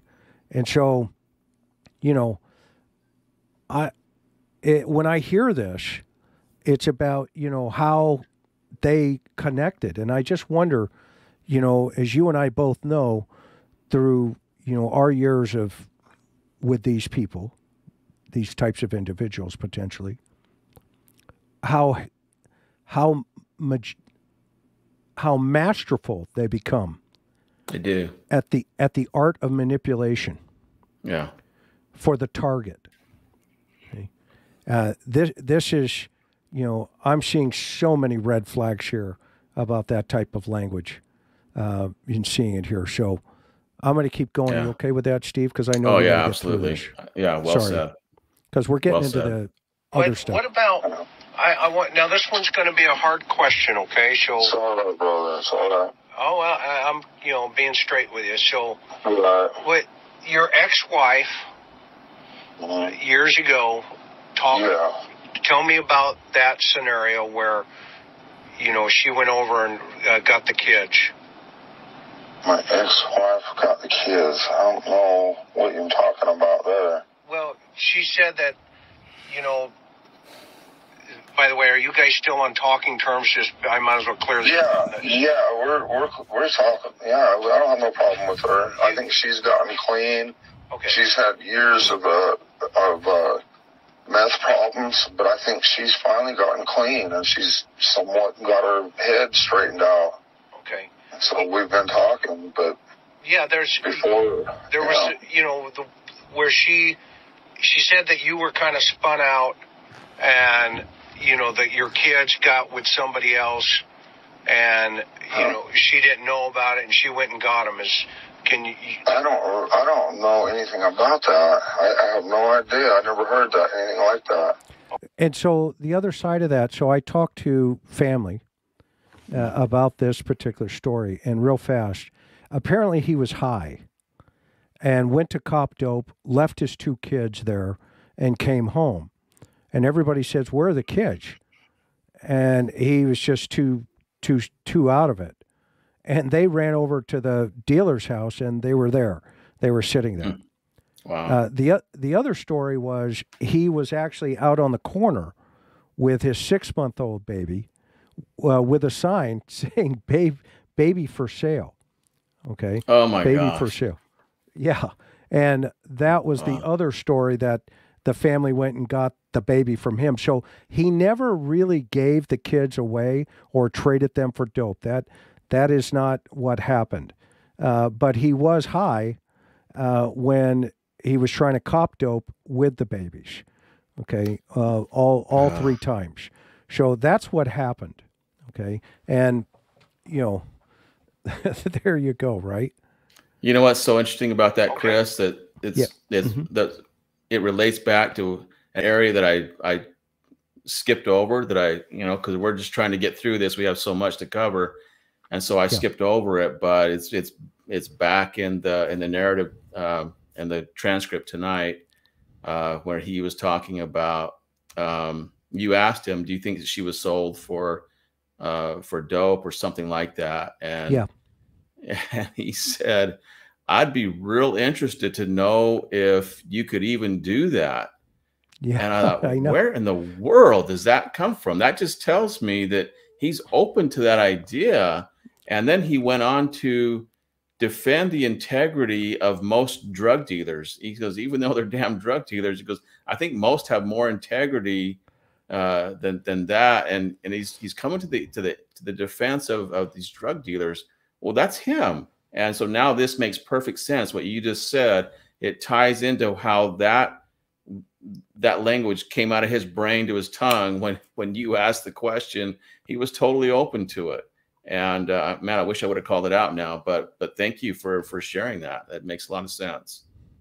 Yeah, no, and that uh, yeah, that was early on. Uh, you you caught that earlier on. That was uh, yeah, that's what he was saying. So here we go. And and I gave him a heads up about the information that would come up. and Huh. that's why I'm asking you. I mean, right? Yeah. Eh, I always go right to the source. You know what I mean? Right. and that that kicks down a lot of information Either way, Yeah. and, and no matter Yeah. what, I mean, people are gonna, Yeah. you know, if she tells somebody this or that. There's a lot of he said, she said. Yeah, I mean, I'm not gonna lie to you. I've, that cocaine thing for me was really tough for me to get over for years, you know. And I'm not gonna sit here and lie to you. Did, were You you? know, See, now he said he didn't do it, but he gave it. If if I did do it, I he he remembers it. Okay, it was because of the cocaine, because of the cocaine. That's the the excuse. cocaine problem. Yeah. yeah. Are you doing any drugs now? And will the cops? no, no. Did they? no, ta- no, did they I'm- take I'm your clean. blood? They t- they test us. Yes, I'm clean. I don't do nothing. I won't even pick up a beer. Okay, so they. well, for one thing, if I drink beer, I, then I do want that crap, so I won't even touch a beer. Right. So, but they took. they Hey, took Chris, hold blood. up. So what's interesting here, I I, I kind of get a chuckle out of this because uh, you asked him, "Are you doing any drugs now?" And and you gave him a compound question. Are you doing any drugs now? And the cops they take your blood. So he he latches on. Uh, they tested us, yes, and then he adds, "I'm clean. I don't do nothing." And what he goes to is, "I won't even pick up a beer," and that wasn't strong enough for him, and so now he has to sell it to you. He says, "For one thing, if I drink a beer, then I do want that crap, so I won't even touch a beer." Okay, so it tells me because he has this overt need to persuade you that he won't even pick up a beer because it makes him want the cocaine or, or the drugs that he's likely using drugs right now as he's talking to you i mean not not as he's talking to you but i mean you know and now in his life he hasn't given it up and so he's likely uh he's likely still an addict and and, and using uh, we have this language of addiction throughout throughout his this interview. It just tells me this this kind of puts the nail in the coffin that you know he's he's still using. Yeah, a very good, astute uh, observation, Steve. I sure appreciate you. Uh, here we go. Yeah, they drug test us. Yes, Yeah, that's welfare. that's typical in these kind of high profiles like this. And what about Yeah. what about Candus? Both of you? Well, she was dirty for weed, Okay. you know, Okay. but she quit after all this was happening. Was Well, how does he know that? Because it takes about a week, almost two weeks later, to get those tox results, if not longer. Weed is a little bit longer potentially. Yeah, and, and once again, he's throwing Candus under the bus. Yeah, I don't think he knows. I don't think he knows. Huh. summer. She's she's quit that, and now I'm just trying to get her to work on the alcohol. Right. You know, because I'm like she she I've never taken blood from a sus- subject and then said, "Hey, by the way, you don't have anything in your system." Yeah, I have you? right. No, never, never. right. I mean, y- you just don't do that. That's that's not investigations 101. So I didn't believe that from the day I heard it. she started drinking Yeah. last night, Look, and she she quit for like two days. I'm like Candus, when you drink, it just makes it hard on me. Now I got to babysit you and everything else, and you, you know, Hold- just hold ain't up, right. Chris. Now this is Go. So I, I I just can't get over how much he's he's he's pointing the finger at Candus and he's really throwing her under the bus and he's portraying himself as I don't even I won't even touch a beer. Okay, I'm the good guy, uh, but look at her. She tested positive for weed, and now she has this alcohol problem, and we have to now we have to get her off the alcohol because when she drinks, she can't control herself. And what happens when she can, when she drinks, she can't control herself. Don's saying, "I have to babysit her, and this is an inconvenience for me." so he doesn't like this. And Chris, there's this theme throughout this whole interview that Candus has problems, look, pointing the finger at her. Um, I'm I'm the good one. I have to clean things up. This brings me back actually to where he said, and I had to clean things up, meaning that day, uh, you know, he's he's really telling us my perception of reality that day is that Candus, uh, look at her, she's got the problem. Uh, it's a female that's the suspect. Um, I had to clean it up.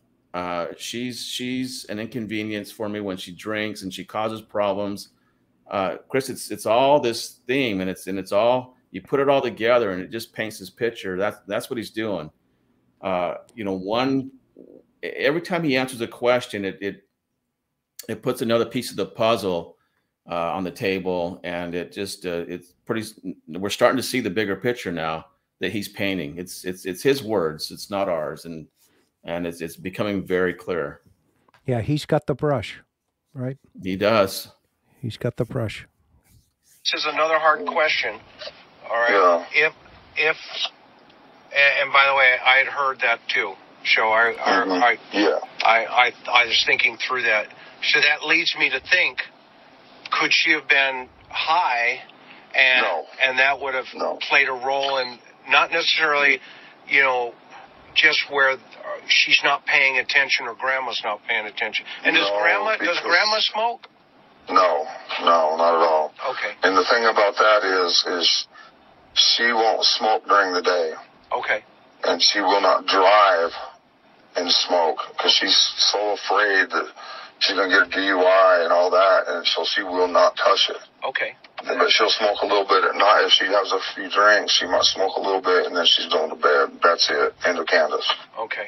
All Till right. she wakes up in the morning, and then look out. Got it. Got it.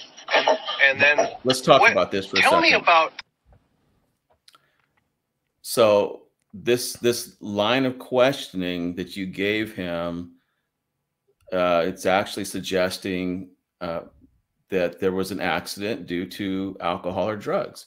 And and so this would your question would actually cancel out the abduction hypothesis. And so even though he was he had, was previously throwing her under the bus now because this would cancel out the abduction hypothesis he has to come to her aid. And so that's what he does. And he says you know she doesn't smoke during the day and no alcohol at night. And if you don't believe me she's she wouldn't do it because she's afraid of getting a DUI so you should believe me that that doesn't happen. Um and then he says she might smoke a little bit at night and have a few drinks and and so he's telling us that's it end of Candus. So he's telling us that during the night Candus is unresponsive uh, until morning. She's she's out for the count for the night. And then when she wakes up he says look out. So it tells us that it, he's really disparaging Candus. He's he's uh, I, it, to me, it's incredible how much he's throwing her under the bus and and and using the disparaging words about his wife.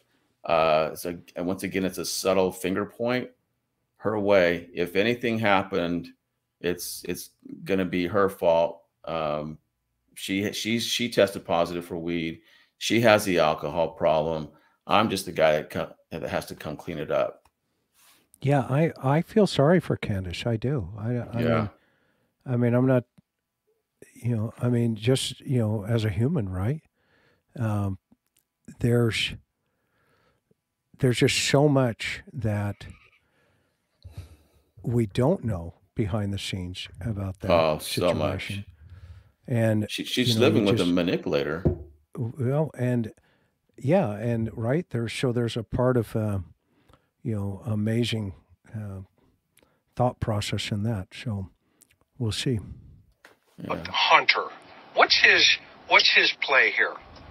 I have no idea what the deal is with that because he's every time I've ever seen him when he comes over to our house, you know, he plays with the kids. Uh, he's always been real gentle, real good. He always comes up and gives me a hug, and I try to be as nice to him as I can because I know he doesn't have a father, or he, you know, or whatever. He does. He lives in town in uh, HUD housing or whatever. so he don't get out in the country and stuff. And so I've, I've just tried to be really nice to him, and he's always been good and give me a hug and everything like every time I've ever seen him. Okay. And so this is all just since since Summers disappeared and they all turned on us. That just blew me away. I'm like, why? Why? It's like they're trying to divert attention to us for some reason. And what So about yeah? I let me mean, just and just point out one thing. you know, he's I'll just point out one thing here. This is what he's doing here. Over, I mean, uh, how many times did he say that Hunter always comes up and gives me a hug, and I try to be as nice to him as I can. Why? Because I know he doesn't have a father, and and then again he says, uh, and and so I've tried to be really nice to him, and he's always been good and gives me a hug and everything. So he's once again he's portraying himself as the good guy and and he may be and it may be that hunter gave him a hug and it may be that he he uh, was nice to him but it's it's the fact that he's portraying himself like that to you that he feels the need to portray himself as that that's what i have the problem with. And it tells me that there was likely something uh, going on that that he he was not really the good guy because he's having to portray himself as that. And so that's where the red flag goes up for me. It's it's it's awesome to be a good guy, and it's awesome to, you know, if he really was, um, you know, treating Hunter, paying special attention to Hunter because he didn't have a dad. But um, I'm I'm actually really not even getting that he did a whole lot with with Hunter, other than maybe just say some nice things to him, um, and that's it. But hey, it goes just goes back to that. There's something underlying here with this need to persuade that he's such a good guy. Interesting. he said that uh, obviously threw you guys, you know, in different directions, and you know, and there's a lot of different. Right, There's two sides always to every story, right. right.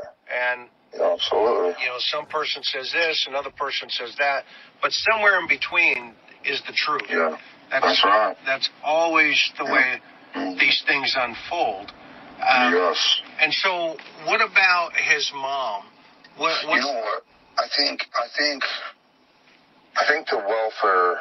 I know that she called the welfare on us. That's why the welfare was on us, and why they was worried about the weed thing, and they was fixing to close our case. But she thought, I think that she thought we called the welfare on her, and she was trying to get back at us. You know, but we don't do that unless unless it's necessary. So he doesn't have a problem, you know, basically, unless if somebody gives him a problem, then he doesn't have a problem going back at them, unless Right. it's necessary, right? That it, Yeah. typical, right? Typical Yeah, for Uh, sure. for, for you know for a guy going to church. You know. oh, so revenge again, right? Yeah, yeah, we never called the welfare on her. We wouldn't do that unless, like I say, if there's a reason to, yeah. But other than that, we're not going to call just for revenge or whatever, Right. you know. And, But I think she, that's why she called him on us, because, yeah, for revenge. And that, but for some, why, you know, what I still don't understand is why, when they found out the summer it was gone, that's the instant they turned on us big time. interesting. The very instant, yes, very interesting. And, and So there's more to these dynamics, right? Because now he's interjecting that, you know, they they're in play here for hurting Summer. yeah, uh, that's another why- part of that combo plate. why is that though? Why do you think? I, you know, I started, I started wondering, did they have something to do with her abduction? You know, because they was at the parade when, when the church made that banner for Summer and they was walking down the parade with Summer's picture on it. Yeah. They was sitting there at that parade laughing, pointing their fingers, huh, huh, you ain't got your little girl no more. I couldn't believe that. Yeah, that's messed I wouldn't even do that. I wouldn't even do that to my enemies. Yeah, that's messed up. Yeah. Yeah. Yes, it is. And, and and Candus cried, you know, and it just, I'm hoping that, um, man, I, I can't only imagine what that must have felt like, you know, as a fan. right. And, Uh, and what about, you know, with uh, what puts you in your mind that maybe he could be involved? well, I mean, because he'll do whatever his mother says for money, for she'll give him money for cigarettes or let him do his little thing, whatever that is. I'm not sure. Let him do his little thing if he if she if he lies for it. And I'm getting this from Candus that, that I know everything he said was just absolute craziness on your interview. Yeah. You know. Yeah, and and then, but what what would be his motive other than just to get back at? I mean, and plus, did he have access? Did he have access to her that day after Candus dropped him off? Well, we know we know that we give that little girl. I can't remember her name ever. She's like half black, half white. I can't remember her name. Um, dang, I can't remember her name. But she, her and Summer loved each other, you know, and uh, we give her a puppy. And that puppy, you know, when it got older, next thing we know, it's at our house. So we know they drove out there and dumped it off when? at our house. We don't, not sure when. Probably, And and this is I'm just going to point out real fast. This is a really good point, guys. When these high profile investigations like this, that you, it's important to, you know, as Steve said, and and and others, investigations 101 is you compress the investigation, i.e., you slow down. Okay, and when now you're looking at this, you know, we've looked at this a couple of different times now. What we're seeing him seeing him do here is paint a picture that he's not really sure even exists. Okay? He's putting Hunter potentially into the play by saying his mother would do anything, you know, pay him money or whatever. And then he puts him at the property by saying that drop the dog off. Okay. So that means somehow Hunter makes it up the property and down in the basement and gets off the property without the boys recognizing, hey, is that you, Hunter? Okay. Right. So it doesn't make any sense, number one. Okay, so this is again smoke and mirrors, as we Yeah, call it. that's I'll, what it is. I'll call this Right. a huge red flag. you know, I'm not exactly sure when Candus might be able to answer that question better than I can. You know, and maybe I can get back to you later or something. Yeah, But I'd say, you know, I'd say about, I don't know, it was before right before, bef- before summer was, yes. Yeah. A week or two before summer disappeared, yes. Okay, so I want to focus on, you know, that day, right? Because that's that Yeah. that's the critical part for us to Right, right, kind of sort through, you know, what's reality, what's not reality, right. and you know, we got we got dope on him involved, you know, in terms Yeah. of different people and you know, Yeah, people tweak Right. and hallucinate and they do all Yes. kinds all kinds of weirdness, right? right. Uh, so that doesn't help summer. Uh, No. You know, we've got to make sure that we're we've got a clarity of focus on uh, Yeah. you know what time it is here. Now here's an so here's another question then that comes to my mind. Um, in your heart of hearts, Uh-huh. what do you want to happen to the person that did this?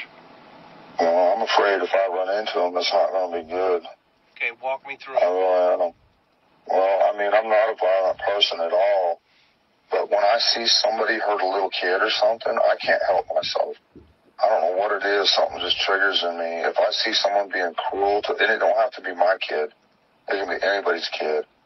I see somebody being cruel or cruel to an animal. I, I, I tend to flip.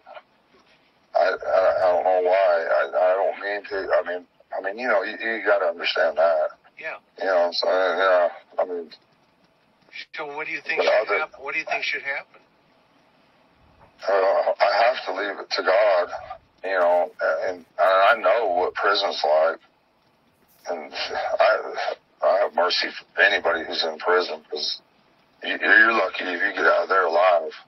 Yeah. Anyway, So So would you want to see this? we got to talk in about that one, Chris. Go. Yeah. So it's a great question. I'm glad you asked that. And, uh, you know, he, man, this is, it's, this is a fresh investigation. His, his daughter is still missing.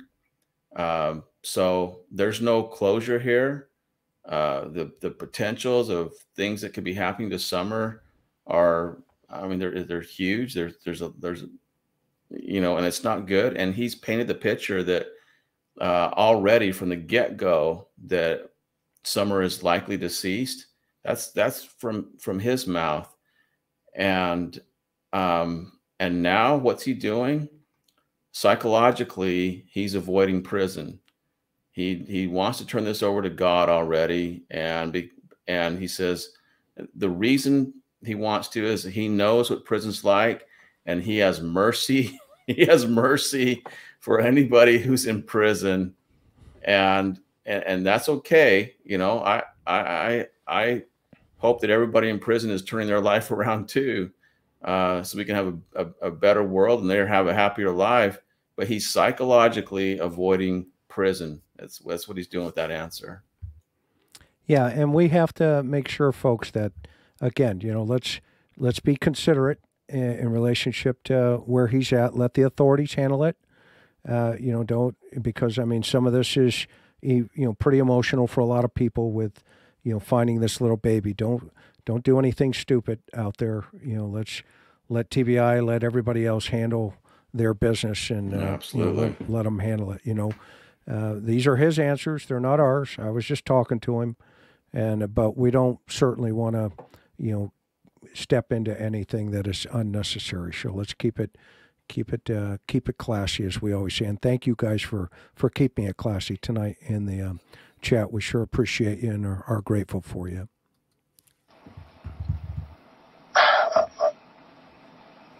I don't know if I could do that. to be honest with you, Yeah. No, I. it just Yeah, let's pick that question up again. So Yeah. would you want to see this person in prison? I don't know if I could do that. to be honest with you, Yeah. No, I. it just depends on all the circumstances. You know, like, What if it was an accident? well, you know, that's different. You know, and accidents happen. You know, Right. And and could this have been an accident? I have no idea. I know if Candus, you know, had an accident or something, she'd call the authorities right away. Right. I know that she's not she's not devious like that. She's a good person. I believe you. She wants she wants to be a good person. And, and She you know, wants. Okay, let's talk about this, Don, I told you the first time we. Okay, this is this is a huge aspect uh, here of his his dialogue. Um, you asked him, "What if it was an accident?" And he says, "Well, that's different, you know. And accidents happen, you know." So Don just acknowledged the distinct possibility that that whatever happened to Summer was an accident. This he's he's he's he's locked into this, um, and, and he's okay with it being an accident. Uh, he just doesn't want the responsible person to go to prison for this accident, and, and this is so so revealing in his language. So you ask, could this have been an accident? He says, I have no idea and and but that's not enough. He, his brain's not stopping. Look what he says now. I know if Candus had an accident or something, she'd call the authorities right away. He just focused this whole thing that uh, on Candus that he just acknowledged there's a very good possibility it was an accident and whose fault would it be?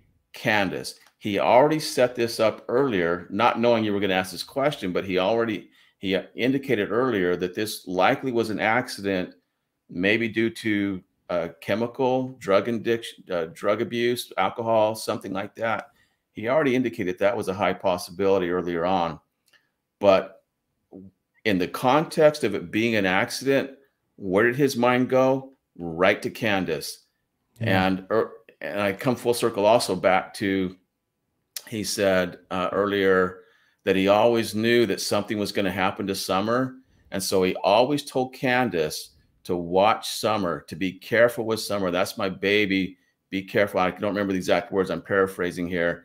But he, he said it's going to be Candus's, it's going to happen on Candus's watch. And that's what he did here. Accident, let's, and his mind went right to Candus. And then he introduced in a, in social when he started talking about Candus, he introduced introduced the word devious in the negative that she's not she's not devious. You know, I've heard this in other cases uh, where they introduce a word in the negative, it makes it more sensitive, and so that's a clue for me to key in on that. That there's likely some kind type of devious behavior going on here, um, and then he wants to be the good person again. Uh, and he's insinuating that Candus may not be the good person. It's the same thing that we've seen before. I've talked about it. It's this exact same thing. This here, the answer that he just gave you is so uh, sensitive and revealing, and his his where his mind went with this, Chris. He's just told me that uh, number one in his mind, the number one scenario that's really playing out in his mind is that this was an accident and it was Candus's fault. We, it, so that's what you're getting. That's that's where you're. That's where he's taking us in your thought. That's process. where he's taking us. He's taking us there. Yeah. Yeah, and I gave him that out just in case. You did by, by asking the question. By you asking did. the question. Yeah. And it was and it was a great question. I'm so glad you asked it. It was it was fantastic. Um, it's just amazing what what the words reveal, and yeah. uh, yeah, he's he's letting us know that this is this is probably the number one thing in his mind. This is uh, I see more credibility here than you know with this accident thing than anything else. Everything else is a red herring. This has been his theme throughout and and so this was the the exact question that you should have asked him and what what he said brought it all together this is it this is where his mind is focused if, if we yeah. went back and we picked out every time that he pointed his finger at candus uh, there would be a lot of them uh, and it would be real interesting to do that to see that that chart of how that would play out but there'd be a ton of them and it'd all be pointing to candus yeah, good point. Um, and you and you got to feel sorry for her because if it was, you know, and she did panic, he, right. she she probably did call him, and at some point, I mean, uh, you know, hypothetically, right? Uh, if this is in play, and he probably drove the narrative instead of calling sure. the authorities and saying, "This is what happened." I mean, how many? I mean, how many times have we sat in the interview room with these, you know, people that had committed an accident. You know, it was right. an accident, and they just they panicked. Uh, and and then I've had other people with backgrounds like this that have come in and said, "Look, this is what happened, and, and I'm sorry." And yeah. you you do the investigation and you say, "Okay, you know, we're sorry too. Have have a yeah. have a great you know have a great life. We're sorry this happened," and yeah. they walk because they did the right thing. So I'm going to keep exactly. going because I we want to get to the good stuff for for you. I know we're getting close to it, and give you guys a heads up again. I want you to be sensitive to the SA, uh, you know, coming up because he does talk about uh, his stepsister. Talk that. I had a lot of respect for the fact that she talked, and one of my one of my, one of my thought process is, you know, as this whole thing unwinds, I mean, is it possible that you know, maybe grandma hurt her by accident and it just got out of control. I mean, uh, the goal here is to find. Summer and to and to put the truth on the table, right? Right. And, well, I think if that was the case, she she would have either called me or authorities right away. I don't think they would do that because. That's exactly what she did. I called Don. That's the first thing she did is call him. And he said, call 911. That, that was what he said earlier. You know, yeah. Even this much later, if it was an accident, it's better to go to the authorities and tell the truth. You know, accident's an accident. I don't think they're that stupid like that. No, I'm, I'm not saying they are. You know what, Chris? No, I, I, know you're not. I know you're not. I'm not. You know. Yeah. Did you realize that he just he just said that they're stupid. They're just not that stupid. Okay. uh, again, more more more disparaging, uh, and, and this the way that he, the way that he you you asked the question and and his his the way that he paused and then the way he he tiptoed into this, he he really is. He didn't want to go down this avenue here.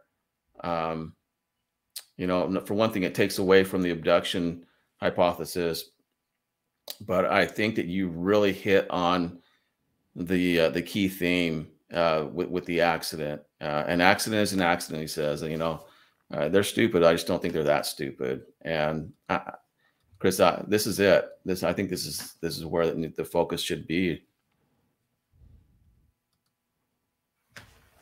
Just keep going. You know, I'm just saying, I don't think they would. I just don't see that. Is it possible though? I mean, what, I'm, uh, I'm, really trying to help you. I, and you yeah, know. yeah, right. I, you know, and I've thought about that scenario myself, but when I think about the day that she called me hysterically and and freaking out and everything, you know, I I just don't think so. Well, there's. I don't believe so. But you see, it, it crossed your mind. It could have been. And so well, let's, let's, let's talk about that. Let's talk about that. Okay. Okay. And and because you know the worst worst case scenario is the last thing anybody wants if the if this is an accident, then it's an accident. You're right. Okay. And and that's mm-hmm. that's the way it is. Okay. Yeah. And you know, the, then what what happens then is everything gets shut down and everybody says oh my gosh, it's you know, it's an accident. Uh, well, if it, if it were an accident, I don't think Candus would be on Facebook 24 7 for the first week like I was. Right. Trying to get the story out, putting all the pictures out, and everything that she's been trying to do. You know, and same as me, trying to do the same thing, putting ourselves out there, getting you know, put down left and right over and over and over and crying, you know, constantly. And that's the worst thing she can do is drink because then she just turns to all tears. You know, even when the policeman brought her a bottle one night, I'm like, oh gosh, that was really nice of him, but man, you know, all her emotions come out, and I'm sure that, I, I just no, I don't think it's possible. I really don't. Okay, show that. Okay, hold up. You know, this is you. You sensed the high level of sensitivity and persuasion in his language, and and you kept going with this with this theme. Uh, you know, in your questioning, and what he revealed here is just it just I'm going to stop short of saying put it put he put the nail in the coffin here uh, because I mean I'm willing to change my mind if he if he changes my mind I'm going to go with him. But at this point in time, what he's doing, and he's saying that if it was an accident, it rests with Candus. Uh, because if it were an accident, I don't think Candus would be on Facebook. You see that? He's the onus is is right on Candus. So now what he says is um, either he, he so either he thinks there was an accident and Candus is lying to him, or he knows there's an accident and is blaming it on Candus because he's psychologically aligned himself with Kansas with Candus, and I'm I'm leaning towards the latter. This this guilty knowledge that he he that he has this guilty knowledge about what what occurred. So one of the sto- one of the problems here, Chris, is that he's focused on on getting the story out, the narrative, rather than on Summer's welfare and on what Summer's experiencing and bringing whoever's responsible for her disappearance to justice. Remember, he's psychologically avoiding prison and he doesn't want whoever's responsible to go to prison. We already know that. That would be for Candus, his wife, and for himself. So um, what about why wouldn't he say, I don't think Candus be so focused on trying to find Summer instead of getting the story out? It's, it's this narrative that, that they're pushing out. Um, he says that Candus is trying to do this, so there's she, she's not either not successful or there's a lack of commitment to what she's doing. Um, and then he aligns himself. He says, "Like I was." So, so he's once once again, he's saying Candus is trying to do what like I was, and getting the story out. So he's uh, again building himself up, putting himself in this this higher higher position or state, or I'm a better person. Um, and he says, if you don't believe me that we've been trying to get the story out, and he's trying, he thinks that that means find Summer. Um, he says, we were putting ourselves out there and we're getting put down left and right and over and over and crying. Um, so you should believe us that we're actually trying to find Summer, but he never said that. It's just we're trying to get the story out there, the narrative. Yeah. And- And what? Oh, I'm sorry. Go ahead. Go ahead. What? What about this? I mean, there's no way the PD handed her a bottle of alcohol. No way. Um, yeah, I mean that's, you know that. Are you kidding me? That guy, if he, if he did that, can you imagine how many people would dance on him uh, Oh, in My in trial? Yeah, it, it Yeah. didn't happen. So, but but with that, why did he interject that though? What what what? It's a pers- it's a persuasive it's a persuasive statement that um you, you should believe me because this this all this causes Candus to drink and when she drinks she cries and all this all this causes her to drink and we are you shouldn't be looking at us because we are aligned with the police they are on our side uh, it's everyone else that's against us, but the police are on our side. They even brought a bottle to Candus because she's having such a hard time. And her emotions, oh my goodness. Uh, you know, it's really nice with them, but her emotions are way out of control when she drinks. And again, it's subtle disparaging of, of Candus, even though that, that may be true. Why say it? Um, so this is all persuasive. And he's trying to what's the what's the the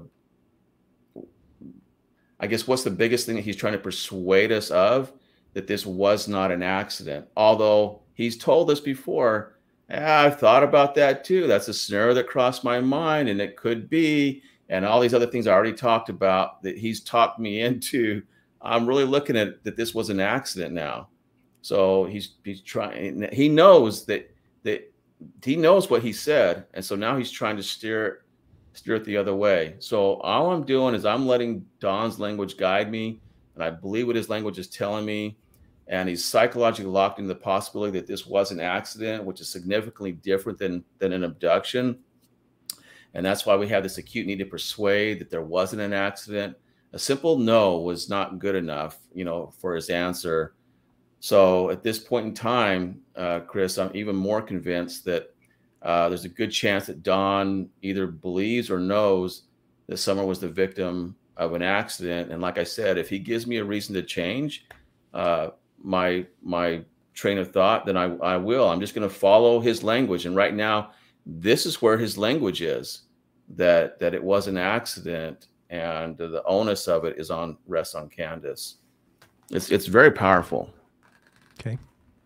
So then we have to ask ourselves, let's eliminate did she fall down the stairs and you know people everybody you know panics. Okay? Yeah. Well, I'm just I'm just I'm just thinking out Yeah. loud. I'm thinking out Yeah, loud. right, right. Uh, Yeah. How does she get out of the basement? If that's Up them little stairs. She was real agile. I mean, she she swing around like a monkey. She could pull her body weight up on a swing. The boys can't even do that. right. So she, from the moment Candus is dealing with mom, and when do you think would have been the moment the somebody would have snatched her? Was e- either somebody was laying in wait Right. in the basement, or that dog trail there. Because you, you know, if you just have a little bit of camouflage on, you're not going to see them. Right. And uh, so they could have snatched her quick. What did your boys say?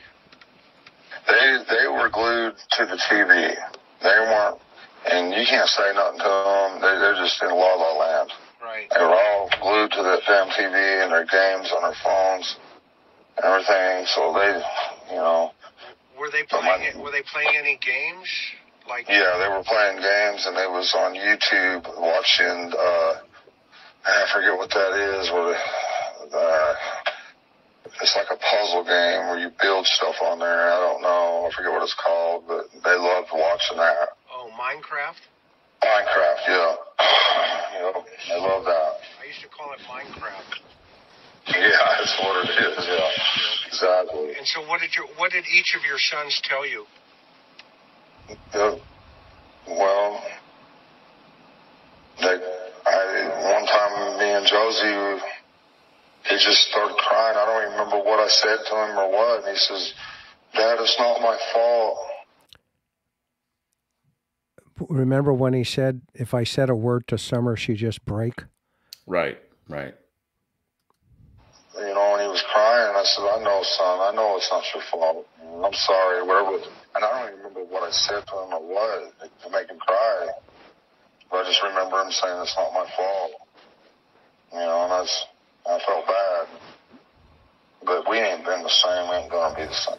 So what sure. what Chris what he did there is he he blamed his son. Yeah. That's that that's his that's what he's telling us is that he he blamed his son and uh and it caused him to cry and he's like dad it's not my fault and because his son knows it's not his fault but they have to make it their fault. He they have to make it the son's this is what he said earlier that we was always cussing them boys. They already always leaving the door open. We, we was always cussing them he's he was blaming them then and that they this is the this is the only way that the the, the abduction hypothesis works. Eh, there's no other way and And- and, so and we get some of that body language too in the boy during the press conference when he's got his arm around his son yeah and he's got his head Right. down the whole time.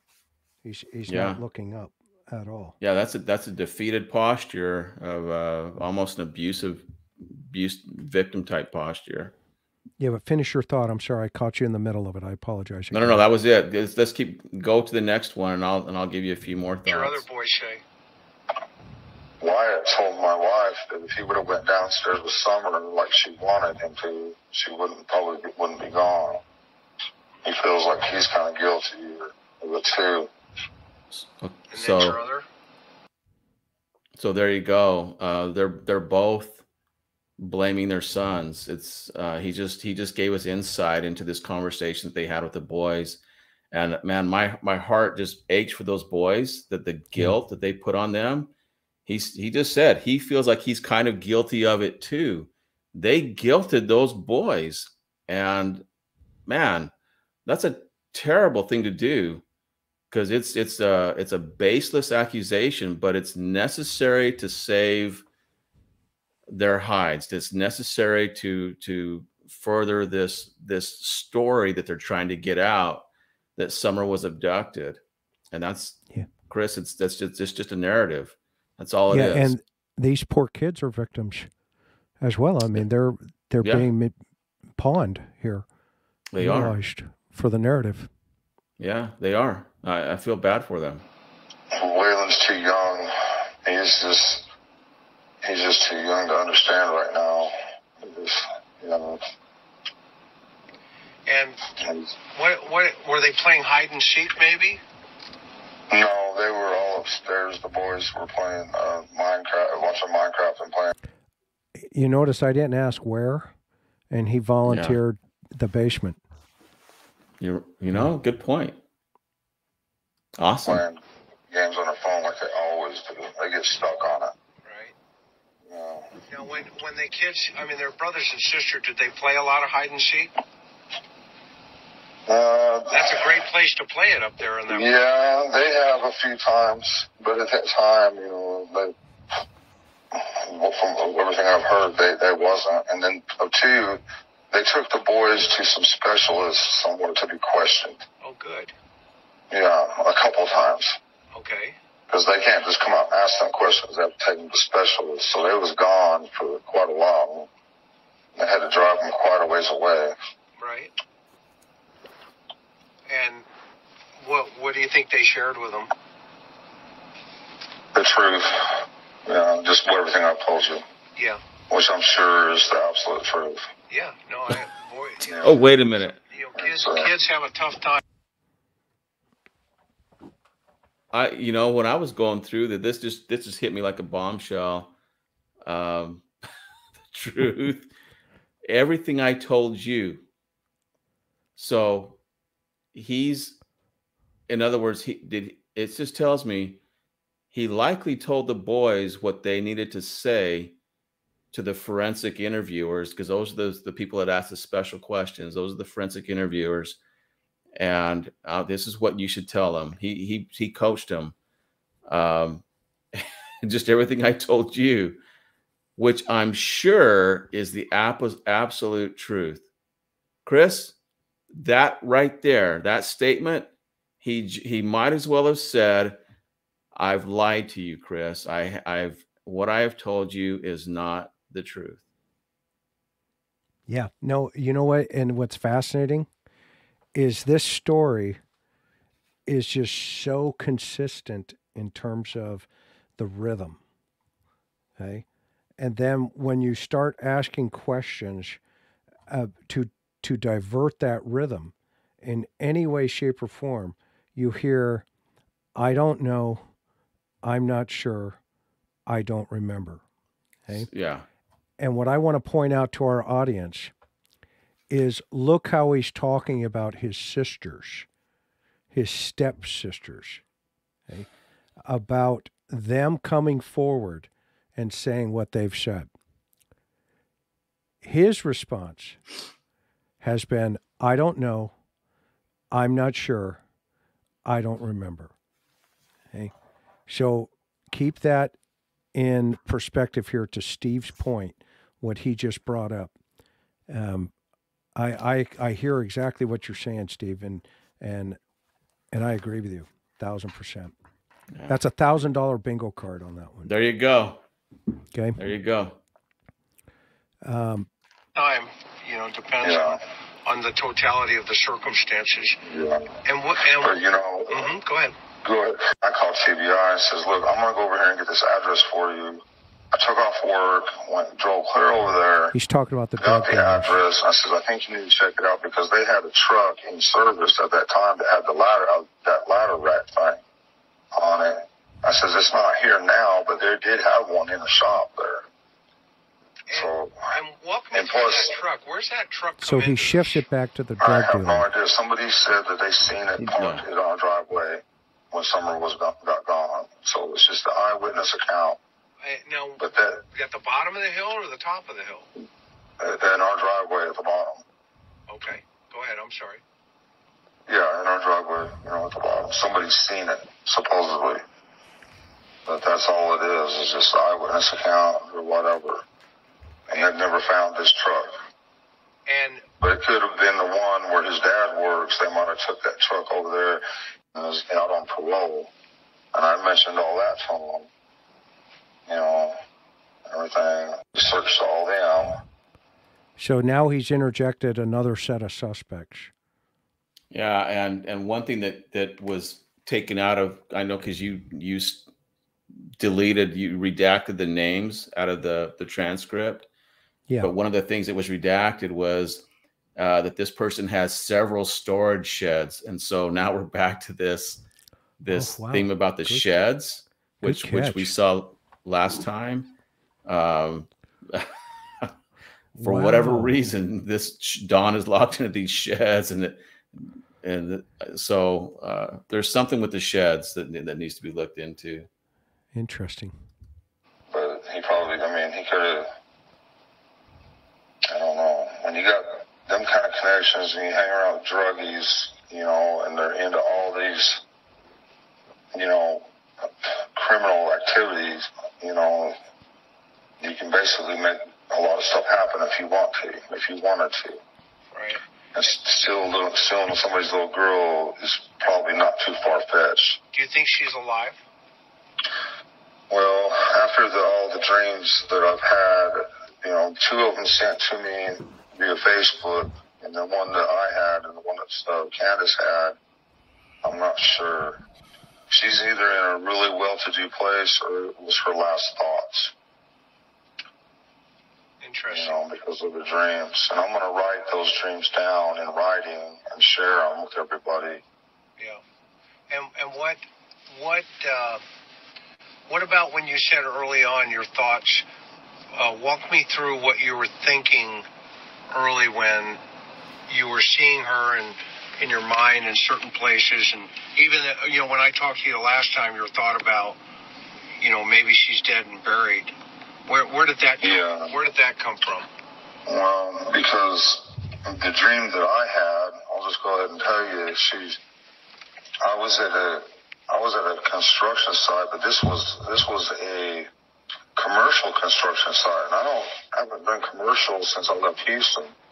But this had these real big steel studs in it, and and the day was just, it was it was more beautiful than any day I've ever seen in my life it was like perfect.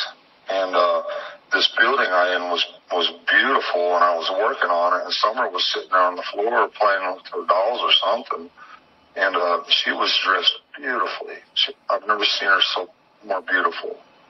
And it just the dream was like like, like heaven, I guess you could say. And I said, Summer, where were you? And she says, down the road, you know, and it was just like a perfect, beautiful dream, you know, that I can't explain. I haven't had no other dreams since whatsoever.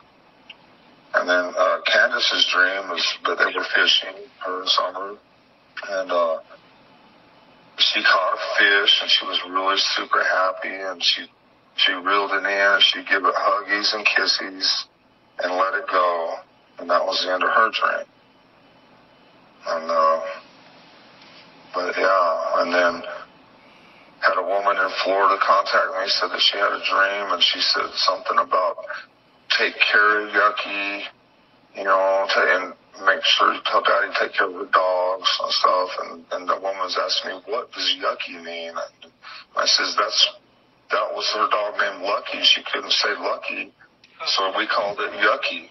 And that's how it got its name, because she couldn't pronounce it Lucky. That's awesome. I I, Yeah. I had a dog named Lucky Yeah, wow.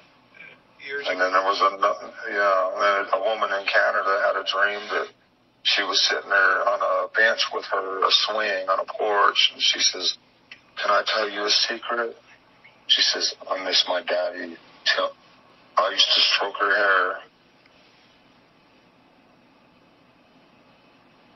And tell her I love her. And I told her that's what I, I used to do that all the time.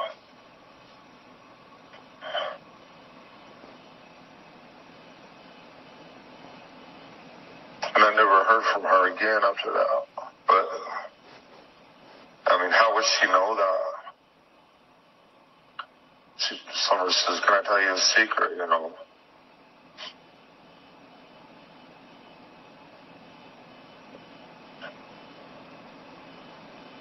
But that's what makes me think that she could possibly be gone, you know? In some of her last thoughts. Because you know, when you're in a bad situation, some of the thoughts you have before it's over, you know, or whatever, you know, like that. It might be something like that, you know. I don't know. Yeah. But I haven't. Nobody's had any dreams, and I haven't had no dreams. Candus had a dream today that people were out to kill her and were chasing her everywhere, but I says, well, that ain't too far fetched. So let's just call out the Yeah, audible here, Chris. So his what he's telling us is that his perception of reality is that Summer's deceased. Uh, it was likely an accident, and it's it's Candus's fault. And he just, you know, when Candus says, "I had a dream that people were out to kill me," and he's like, "Well, yeah, you know, that's probably not too far fetched." And you know, he's again because because you know what you did you know it's that's the inference and anyway that's his that's his perception Interesting. Yeah, I mean that ties it all. Those three pieces tie consistent here. They're very consistent. they do yeah They all Fascinating, fit. Steve. help me understand um, you know where where you're at right now internally in terms of just Don dealing with you know a lot of the moving parts and you know stuff like that. Um, I'm just, I'm really tore up. I loved her with all my heart, and she loved me with all her heart. I was, I couldn't believe somebody could love me like that and look up to me like that.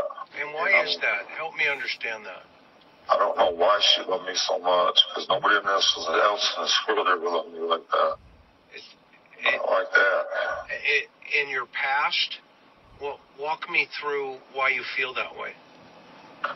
Well, because when my parents divorced when we were kids, both of them got married, to, and we had step parents, and our step parents hated us, and our, you know, and my mom went with my stepdad. But, you know, well, they need, you know, it was just really mean. You know, my stepdad kept me away so he could molest my sisters. And I, at the end, That is a true statement. His stepdad was named Kelly, and he was very brutal, and he did uh, SA his sisters. and That's I didn't sad. know why he hated me. Huh? As I just said, that's sad. Yep. Yeah. and why he loved my sister so much. And my dad, you know, my stepmom hated me. You know, wanted me, didn't want me around. Because of Jeannie and Mary, his stepsisters. And my stepsisters and all them hated me too. And these are the victims. Yeah. And who's that? Who are they?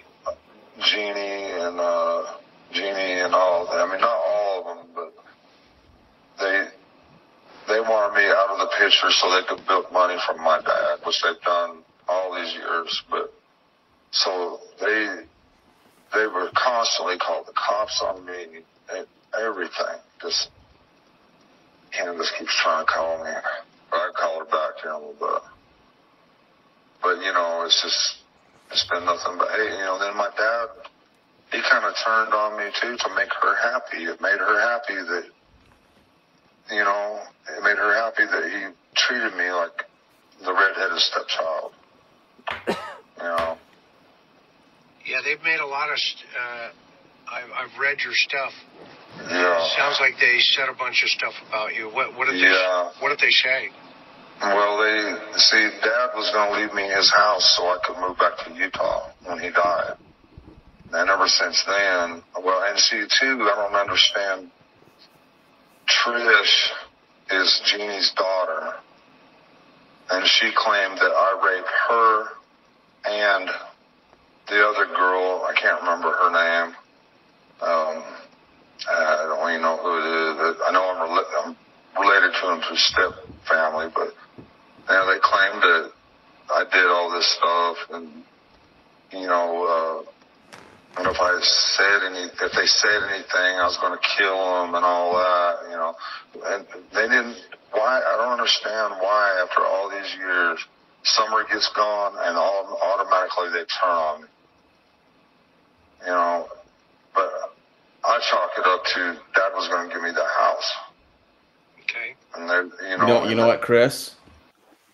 Chris, he he didn't deny the rape. He just said he just doesn't understand why they waited this long until you know summer gets gone, and and now they're now they're turning on him. But he he didn't deny it. Yeah, and his survivor, Jeannie, she's got four kids now. And the moment she heard Summer was gone, she automatically said, I've got to do something.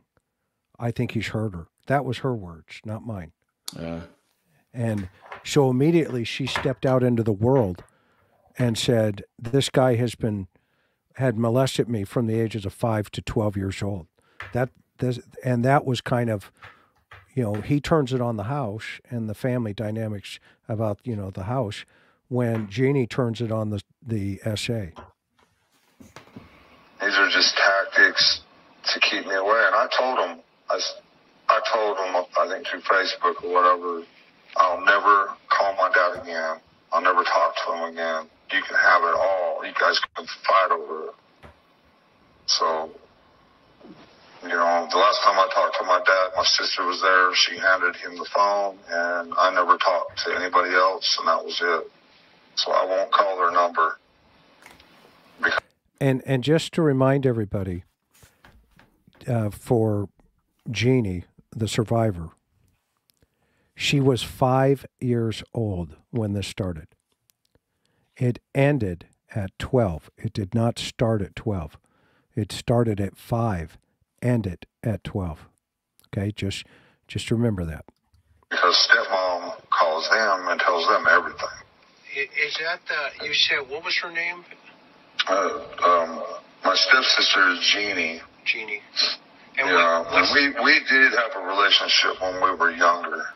Now this is where he's going to confess to it. Yes.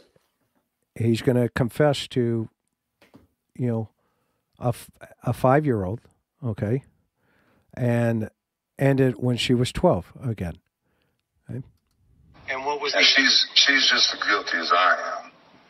so, She's trying to pull the wool over everybody's eyes like she's a Miss Innocent and all this and that. Well, she's not. to walk me through that. Help me understand. Chrissy- I, I would rather not. He, he knows it's a crime. He, Yeah, he does. yeah, he, he absolutely knows it. Uh, Well, and that first call that we played tonight, he says that she instigated it yeah, she's five years old. at five. I mean, last time I checked, you know, kids at five years old are trying to figure out, you know, what the Paw Puppy, Paw Patrol, Chase on the Case looks like on their pajamas. Okay. And and he's he starts this conversation off with, you know, so we kind of had like a relationship. Okay. Guys, if you're just joining us, go when you're done, when we're done, go listen to the first call we played. It's a three minute call where he lays out uh, a little bit more about this, you know, problem here with his sister. Okay. I mean, there, there is no question in my mind that this woman who's been living with this for 37 years, the moment she saw Summer disappeared, picked up the phone and called TBI and said, I need to tell you what happened to me from the ages of 5 to 12. And these these are the women that Don's going on these other programs and throwing under the bus. Okay? So let's all think about that. Uh, but so we kind of had a relationship when we were younger. Yeah, I was I was a bit older. I had a dirt bike. You know, I don't know how old I was exactly, but she met. She started dating her cousin, which was about 12 years old at that time. And ever since then, she just wanted me out of the picture. Ever since then. and, And and started all this And this was not her first cousin, as he's projecting here. Okay? That's not true. hateful stuff ever since then. and how old were you? You know, I don't know. Maybe 15. I don't know. And how old was she? I, I don't know. You know, she was a lot younger than me. You know, and I thought this, and I remember thinking this. Why would I, I didn't think it was right? You know, but I was too young to understand how girls are too. What, what, So she's five, he's 12. She's 12, he's 19 when it ended, and he's still not able to figure that math out. Yeah. walk me through I, that. and he- So when you say What do you want to say, Steve, about this? he's part? blaming this on her again. He he's still Yeah. blaming this on on uh, Jeannie, uh, who's a lot younger. He doesn't want to say how young she is because he knows it was illegal. He just said I was 15 and she was a lot younger than me. He doesn't want to give you the age because he knows it was it was illegal and it's all her fault in his mind. Yeah. And and we as uh, investigators, right? How many other Jeannies are there? Right. Exactly. And because I know of one, I can I I know her name. I'm not going to say it on YouTube, of course not. But she was sleeping in the bottom bunk one night, sleeping over with Jeannie, and he molested her. And I hope she comes forward. I hope she has the courage to come forward, and then it won't be his sisters anymore. And if anybody else out there is a survivor, please call your local authorities, like Jeannie, and let them know your story. God bless you. You didn't think Yeah. it was right. What were you guys? Well, because she was she was younger. Because she was younger. No, she would play with my thing, and I would play with hers. Um, and that's about it. I mean, and Okay. And how long did that go on? I don't know uh, for a little while or whatever. But like I said, she she got with Ron, and that she ended up, you know, I ended up having kids and everything. So let me, she goes, uh, like I said, she got with blank uh, when he was just a little boy, and that's when everything changed. And then I asked, "Who's that?" She ended up marrying him and having kids. That's her cousin. They end up having kids. Everything. And what about this per, this other person you mentioned, uh, Tish? What, what's her name? Her that's her daughter's name was Trish, and the last time I seen her, she was just a little girl. And then uh, the other girl, I'm not sure who she even is. Okay. I don't know. That's the one in the bunk bed. Yeah, yeah. Oh, they're, they're all family. That's Uh, that's fine. They don't want me around Dad. That's fine. Whatever. Just And, and so I just don't call. and you say they they come after you now. What what what do you mean? No, they, as far as I know, they haven't come after me. My sisters tried to defend me, but uh, but I just told them I'll never call my dad again. That's fine. Okay. So as far as I know, they're not. You know, I don't. I don't need all that bullshit. Even though it's bullshit, I And just. is your dad still alive? Yeah, he's still alive, but he ain't. gonna- He's he's like 85. So Oh, okay.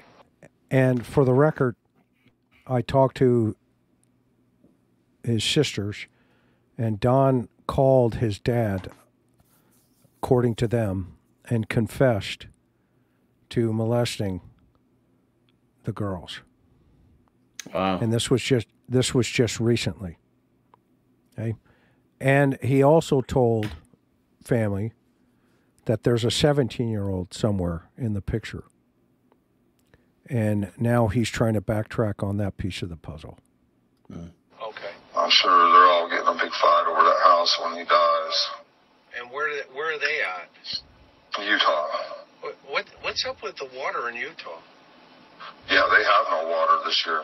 Yeah, they're they. They didn't. They got reservoirs everywhere, you know, and they That's usually not get what I meant, but I, snowpack. I read I know. Every spring it fills up all the reservoirs, but this they didn't get no rain or snow last year.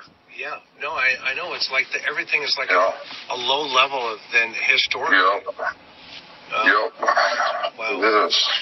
And so I heard that you know people are throwing you under the bus on you know everything, and uh, Oh so of course you know I have a, a show tonight. I'm a program tonight. Yeah. So Right. one of the things that I, I want you to understand is Yeah. in order to process information, you have to go through a process of elimination, right? Right. Sure. Absolutely. So that's why, it, no matter what happened, no, it it's it potentially could be stinky tonight, is what I'm saying. Okay. Because Um, go ahead. that's fine. I'm, I'm listening to you, bud. No, You're fine. because people, you know, are going to say and do Right. no matter what, right? Yeah. Absolutely. So Yes. we have to we have to get to a place where it becomes so logical Yeah. of what happened with Right. with summer that Yeah. it's not even it's just there okay Okay.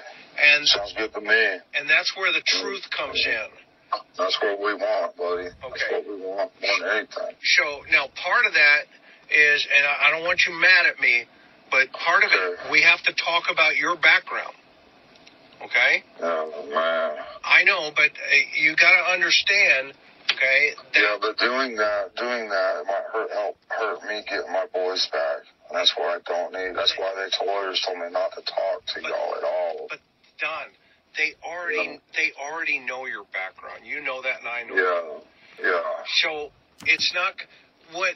Just like Candus, when Candus when Candus came out and people went, "Oh wow, okay," Yeah. and then Yeah. you know the boys are taken, okay, and I don't I don't want to talk about the boys, okay, Yeah. in terms of that's that's where you were told don't talk about the boys by the court. Well, yeah. And I've you- already mentioned I feel safe where they're at because I wasn't feeling safe. At, you know, for a while there where they was at. There's too much going on. Right, and that's where the the court appointed attorney came in, and Right. and the order from the court to say don't Yeah. say anything about the boys. Okay, Right. that's the gag order you were talking about. That's what I was going to Yeah. tell people tonight. Okay, Okay. but that at the same time, okay, we've got to look for you know things that say, you know, okay, where are we with Yeah. with this right now, and Right. how do we help collectively in Yeah. pure in, in you know a straight heart? How do we Yeah. how do we find summer? Right. And Right. you've just talked about some of those ideas today. I don't Mhm. things that I don't think people have ever heard. Okay, Right. and you know those.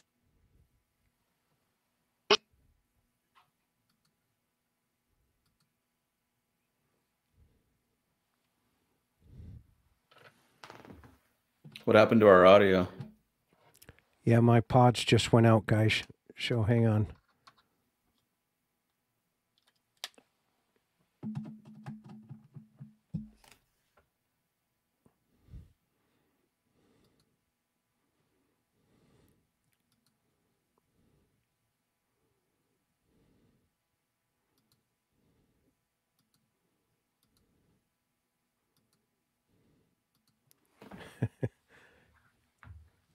Steve, you're not going to believe this.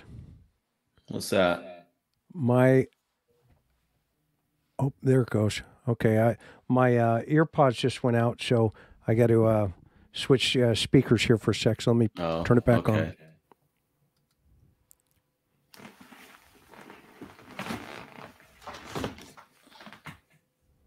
to the kind of things that make a difference. Yeah. Those are the kind of things that connect the dots. Okay. So, Sounds good. all right. So don't don't be uh, don't be don't be hating on me Okay, buddy. as we Okay. as we go through this. It's Okay. it's part of the process. Is there anything you Okay. want? Is there anything else you want to tell me before I that I didn't ask you that you feel is important? No, this guy, because they, they, I think they, he was also connected with them. They found some connection with them too. These detectives. I, I'd like to give you their number.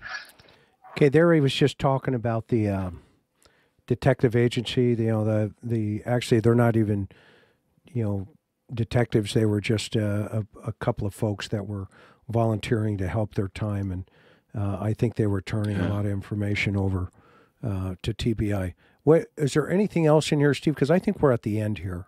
No, that's it. Yeah, and so a couple of things uh, in in a couple of words, kind of wrap it up where you think um, this actually goes uh, internally in terms of what's the big picture here from your professional uh, expertise. Well, um, you know, Don, I'm just I was just scrolling ahead just a little bit here as you were asking, is there anything else? And and you asked him once again, if the right person is caught again, what would you do to that person? And he says, I would have to turn it over to the Lord, you know, because the Lord says vengeance is mine. So I have to do that. I have to, I have to, God has changed my life, you know, big time. And and what he's doing is again, it's part of the theme here. Uh, he's he's calling upon deity, uh, and this is very typical of what he does. And a lot of people do this when they they really need to be believed. But he there's there's no he doesn't want any consequence for the the person that is responsible for can for uh, Summer's disappearance. And uh, so I asked, okay, why is that? Well, his language this the strongest the strongest part of this for me has been this accident theme and the the finger pointing to Candus. Early on, he, he said, "I this is a female. It's her car. Took her not too far away. Um, it's he knows that it is a female that's responsible, and he just keeps blaming Candus." throughout this whole interview and you you interviewed for an hour and a half and it continued on the whole time and he's trying to portray himself as the good guy that that I didn't do anything wrong um, I'm I'm always the one cleaning things up um, you know I'm I'm I'm the good dad and uh, normalizing himself uh, so you must believe I'm a good guy because this is what I you know we normally do. It's just this theme is is throughout his his whole interview. The biggest part of this was was the accident and whether it was i mean he he allowed for possibility that there was an accident uh, due to uh, drugs or alcohol. He allowed psychologically that it was it was okay. He accepted it and it was just okay accidents happen um, but it's Candus's fault. And he and he painted the picture that um, you know, he felt for a long time that that there was going to be an accident. Someone was going to have an accident, and it's sad, um, but it's going to be. He's told Candus, make sure nothing happens to her, and put the onus of this accident upon upon Candus, and this theme just carried on and on throughout, and he uh, his persuasion was just off the charts and so for for me, Chris, that's that's that's where it lies. That's where he left it. Uh, he hasn't given me anything since to to change that opinion. It was kind of the theme throughout the interview, and it's it sounds to me like there was some type of accident that that he's trying to clean up and cover for. It's an inconvenience, but but um, it was he according to what he's saying. He's he's saying it was Candus's fault um, I, I we, we talked a little bit about the job site that day. No doubt that he he was at work that day.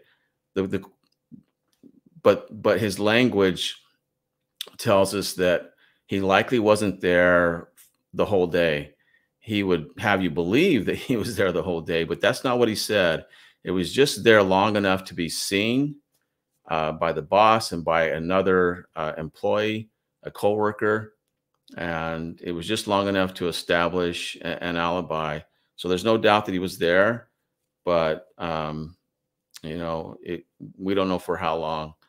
Um, he was talking with with Candus all the way home. He says through Facebook, but in the beginning he said that he didn't get a call back from Candus, and and uh, and you know, so that's kind of why he was he was he felt that Summer was was was gone is because he something bad had happened because he Kenneth didn't call him back, and and there was another deceptive aspect. There was a lot of deception throughout his whole interview, um, but we know that he was talking with Candus the whole time because he it was he said it.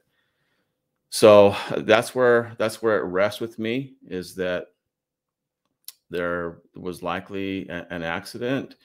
Um, according to what he said in this interview, uh, so either for me, it lies that either he believes there was or he knows there was, and he's he's covering for that.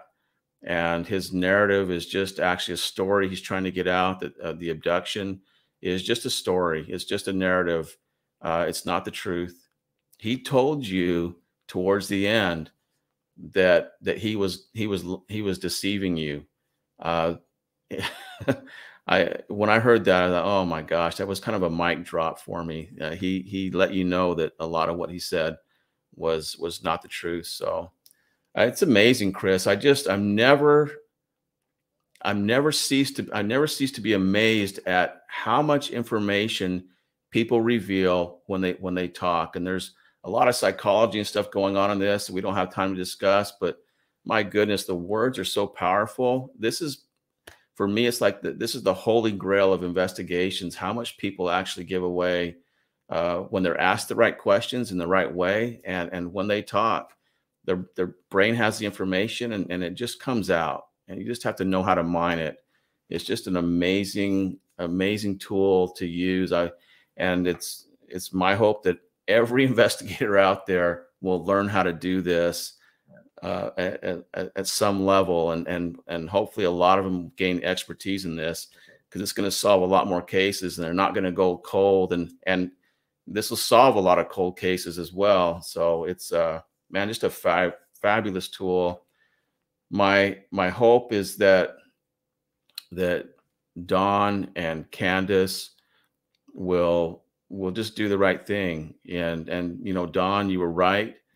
Uh, it, you know, accidents happen, and you know the the Chris told you that to just if it was an accident to just say it was an accident and and it puts everything to bed. And and you know that's that's what we want here is it's all about summer. It's not it's not about you and it's not about Candus. It's about summer. And and that's the end that we need to come to. And that's that's the resolve that she's a five-year-old girl for crying out loud. Um the respect that you will gain for doing the right thing for telling the truth is is immense i i i'm not sure that you understand how much respect that people will have for you if you do the right thing to to uh, to tell the truth about Summer and what happened to her. So that's that's where it lies with me. Um, I'm just hoping that that Don and Candus uh, come out and uh, and and do the right thing and and and tell the truth about what really happened. You know, Steve, that uh, those are powerful, powerful words uh, in of themselves and, and a powerful request. And, and, in all sincerity, I know I know what kind of uh, professional and what kind of heart you have. Uh, and, you know, there's a lot that goes around, obviously, with, you know, the, the emotional responses to this, but, but you're 100% right. It is, it's the family's responsibility to put it uh, where it belongs. And uh, that way, all of the, you know, the he said, she said, all of the stuff that you just uh, mentioned, um, it does go away. And so, you know, let's talk. Um, well, we've got a little more time here. Uh, tell us, tell everybody about you, your company, uh, your website, and um, you know, because I think it's important that people realize that you know you just haven't fallen off a turnip truck and shown up on the interview room uh, here. Uh, but yeah. you know, so I mean, you have a you had almost a 30 year career in law enforcement. You've trained thousands uh, of law enforcement officers uh, everywhere. Uh, so give people a little insight uh, into who you are. And guys, his website is down below. So I know this is going to sound like a little pitch, but I think it's worth it because Steve is the real deal, and he's he's an incredible human being. And believe it or not, we both have compassion for Don and for Candus uh, throughout this whole situation, and we understand, you know, where the anger comes from, where the backlash comes from. Uh, we're used to it, and, yeah. and you know, it, it's okay. It's it's okay. Uh, better me uh, and others than you know the children. So my shoulders are big. I'm a big boy, and uh, I'm very comfortable. But so Steve, uh, tell everybody a little bit about your company and why you do what you do today. Yeah, thanks, uh, Chris. So, yeah, my company is Truth to Lies uh, Analysis Group, and um, you know, our focus is is on training. Uh, the focus was uh, in the beginning training uh, law enforcement investigators, criminal investigators, and you know, it was mostly law enforcement, military, but then it, it we got into a, a little bit of corporate uh, investigative training, which they deal a lot with the same, a lot of the same things that, that we dealt with on the law enforcement side. My whole purpose was to make better investigators. I saw what what a fantastic tool was that that uh, that I was using in the last you know portion of my career, and how valuable it was. It saved time. It got to the chase. I got more more information out of my interviews. Um, and I got more confessions and and it's just I can't say enough how valuable uh, what the tool is that we teach.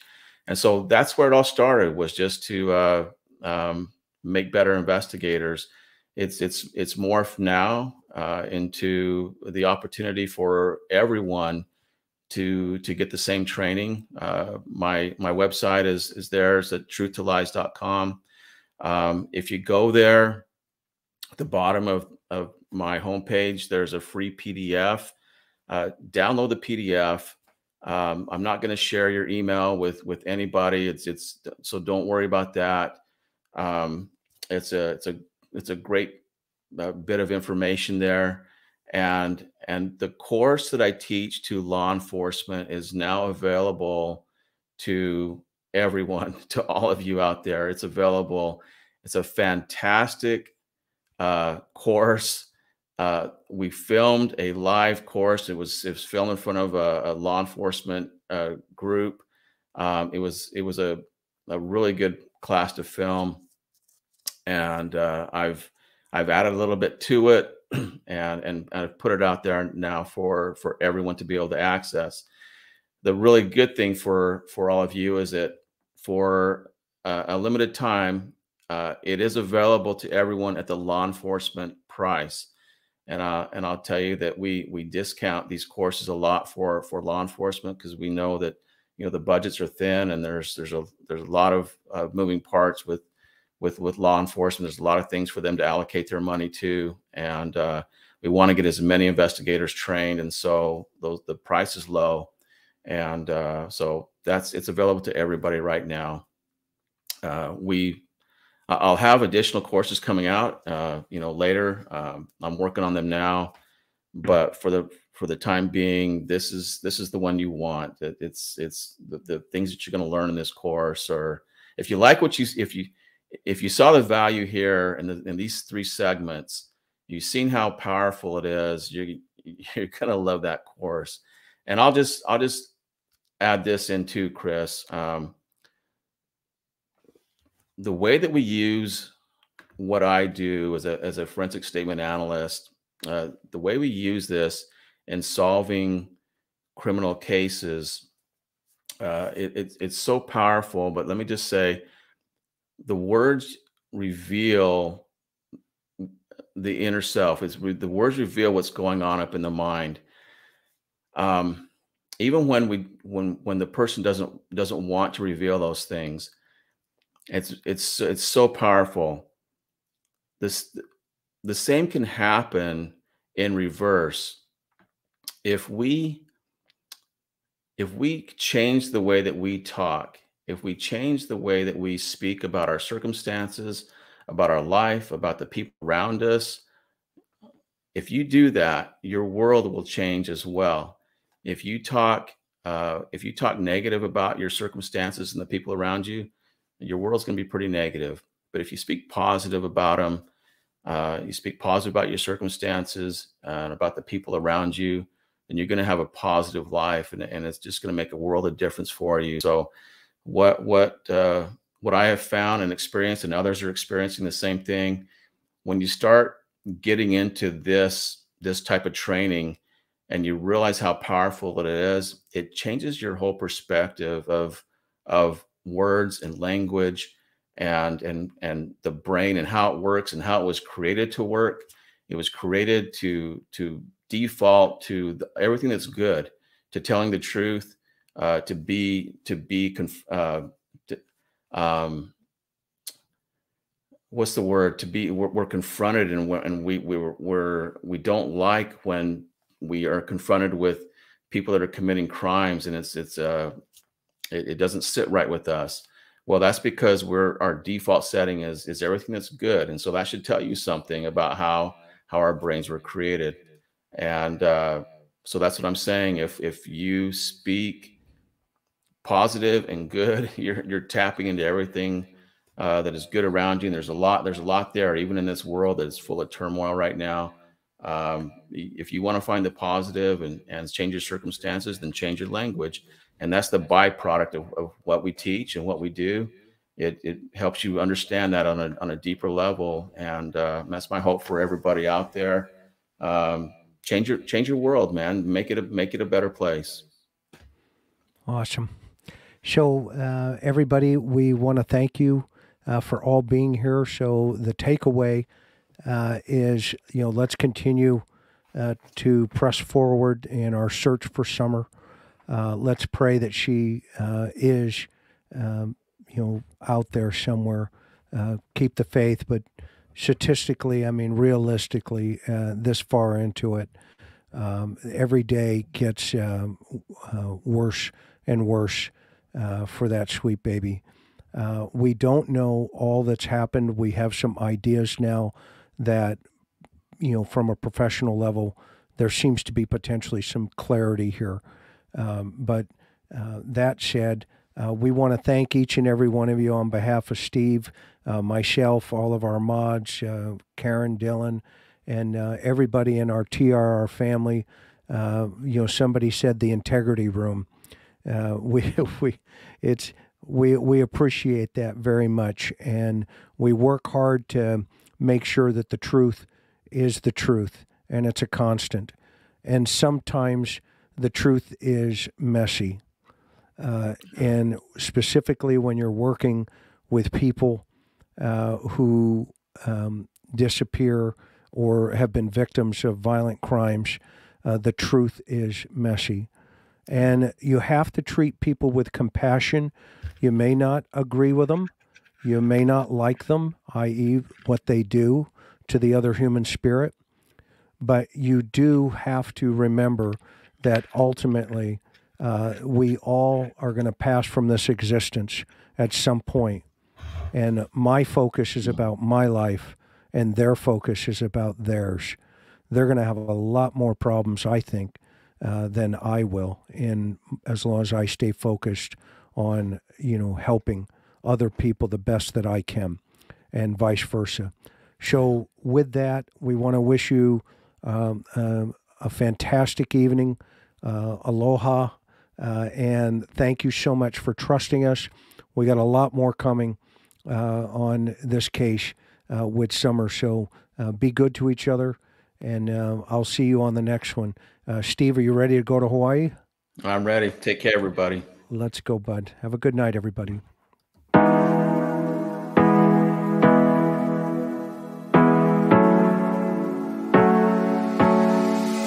Hard working every day. I'm stressed out. 24 7, babe. No, no timeouts. Wish we could fly away. my favorite place. Oh yeah, yeah. Make special memories Together. I'll be your company Now and forever. I say we fly away You and me. Go to our favorite place. Feeling the sun on my face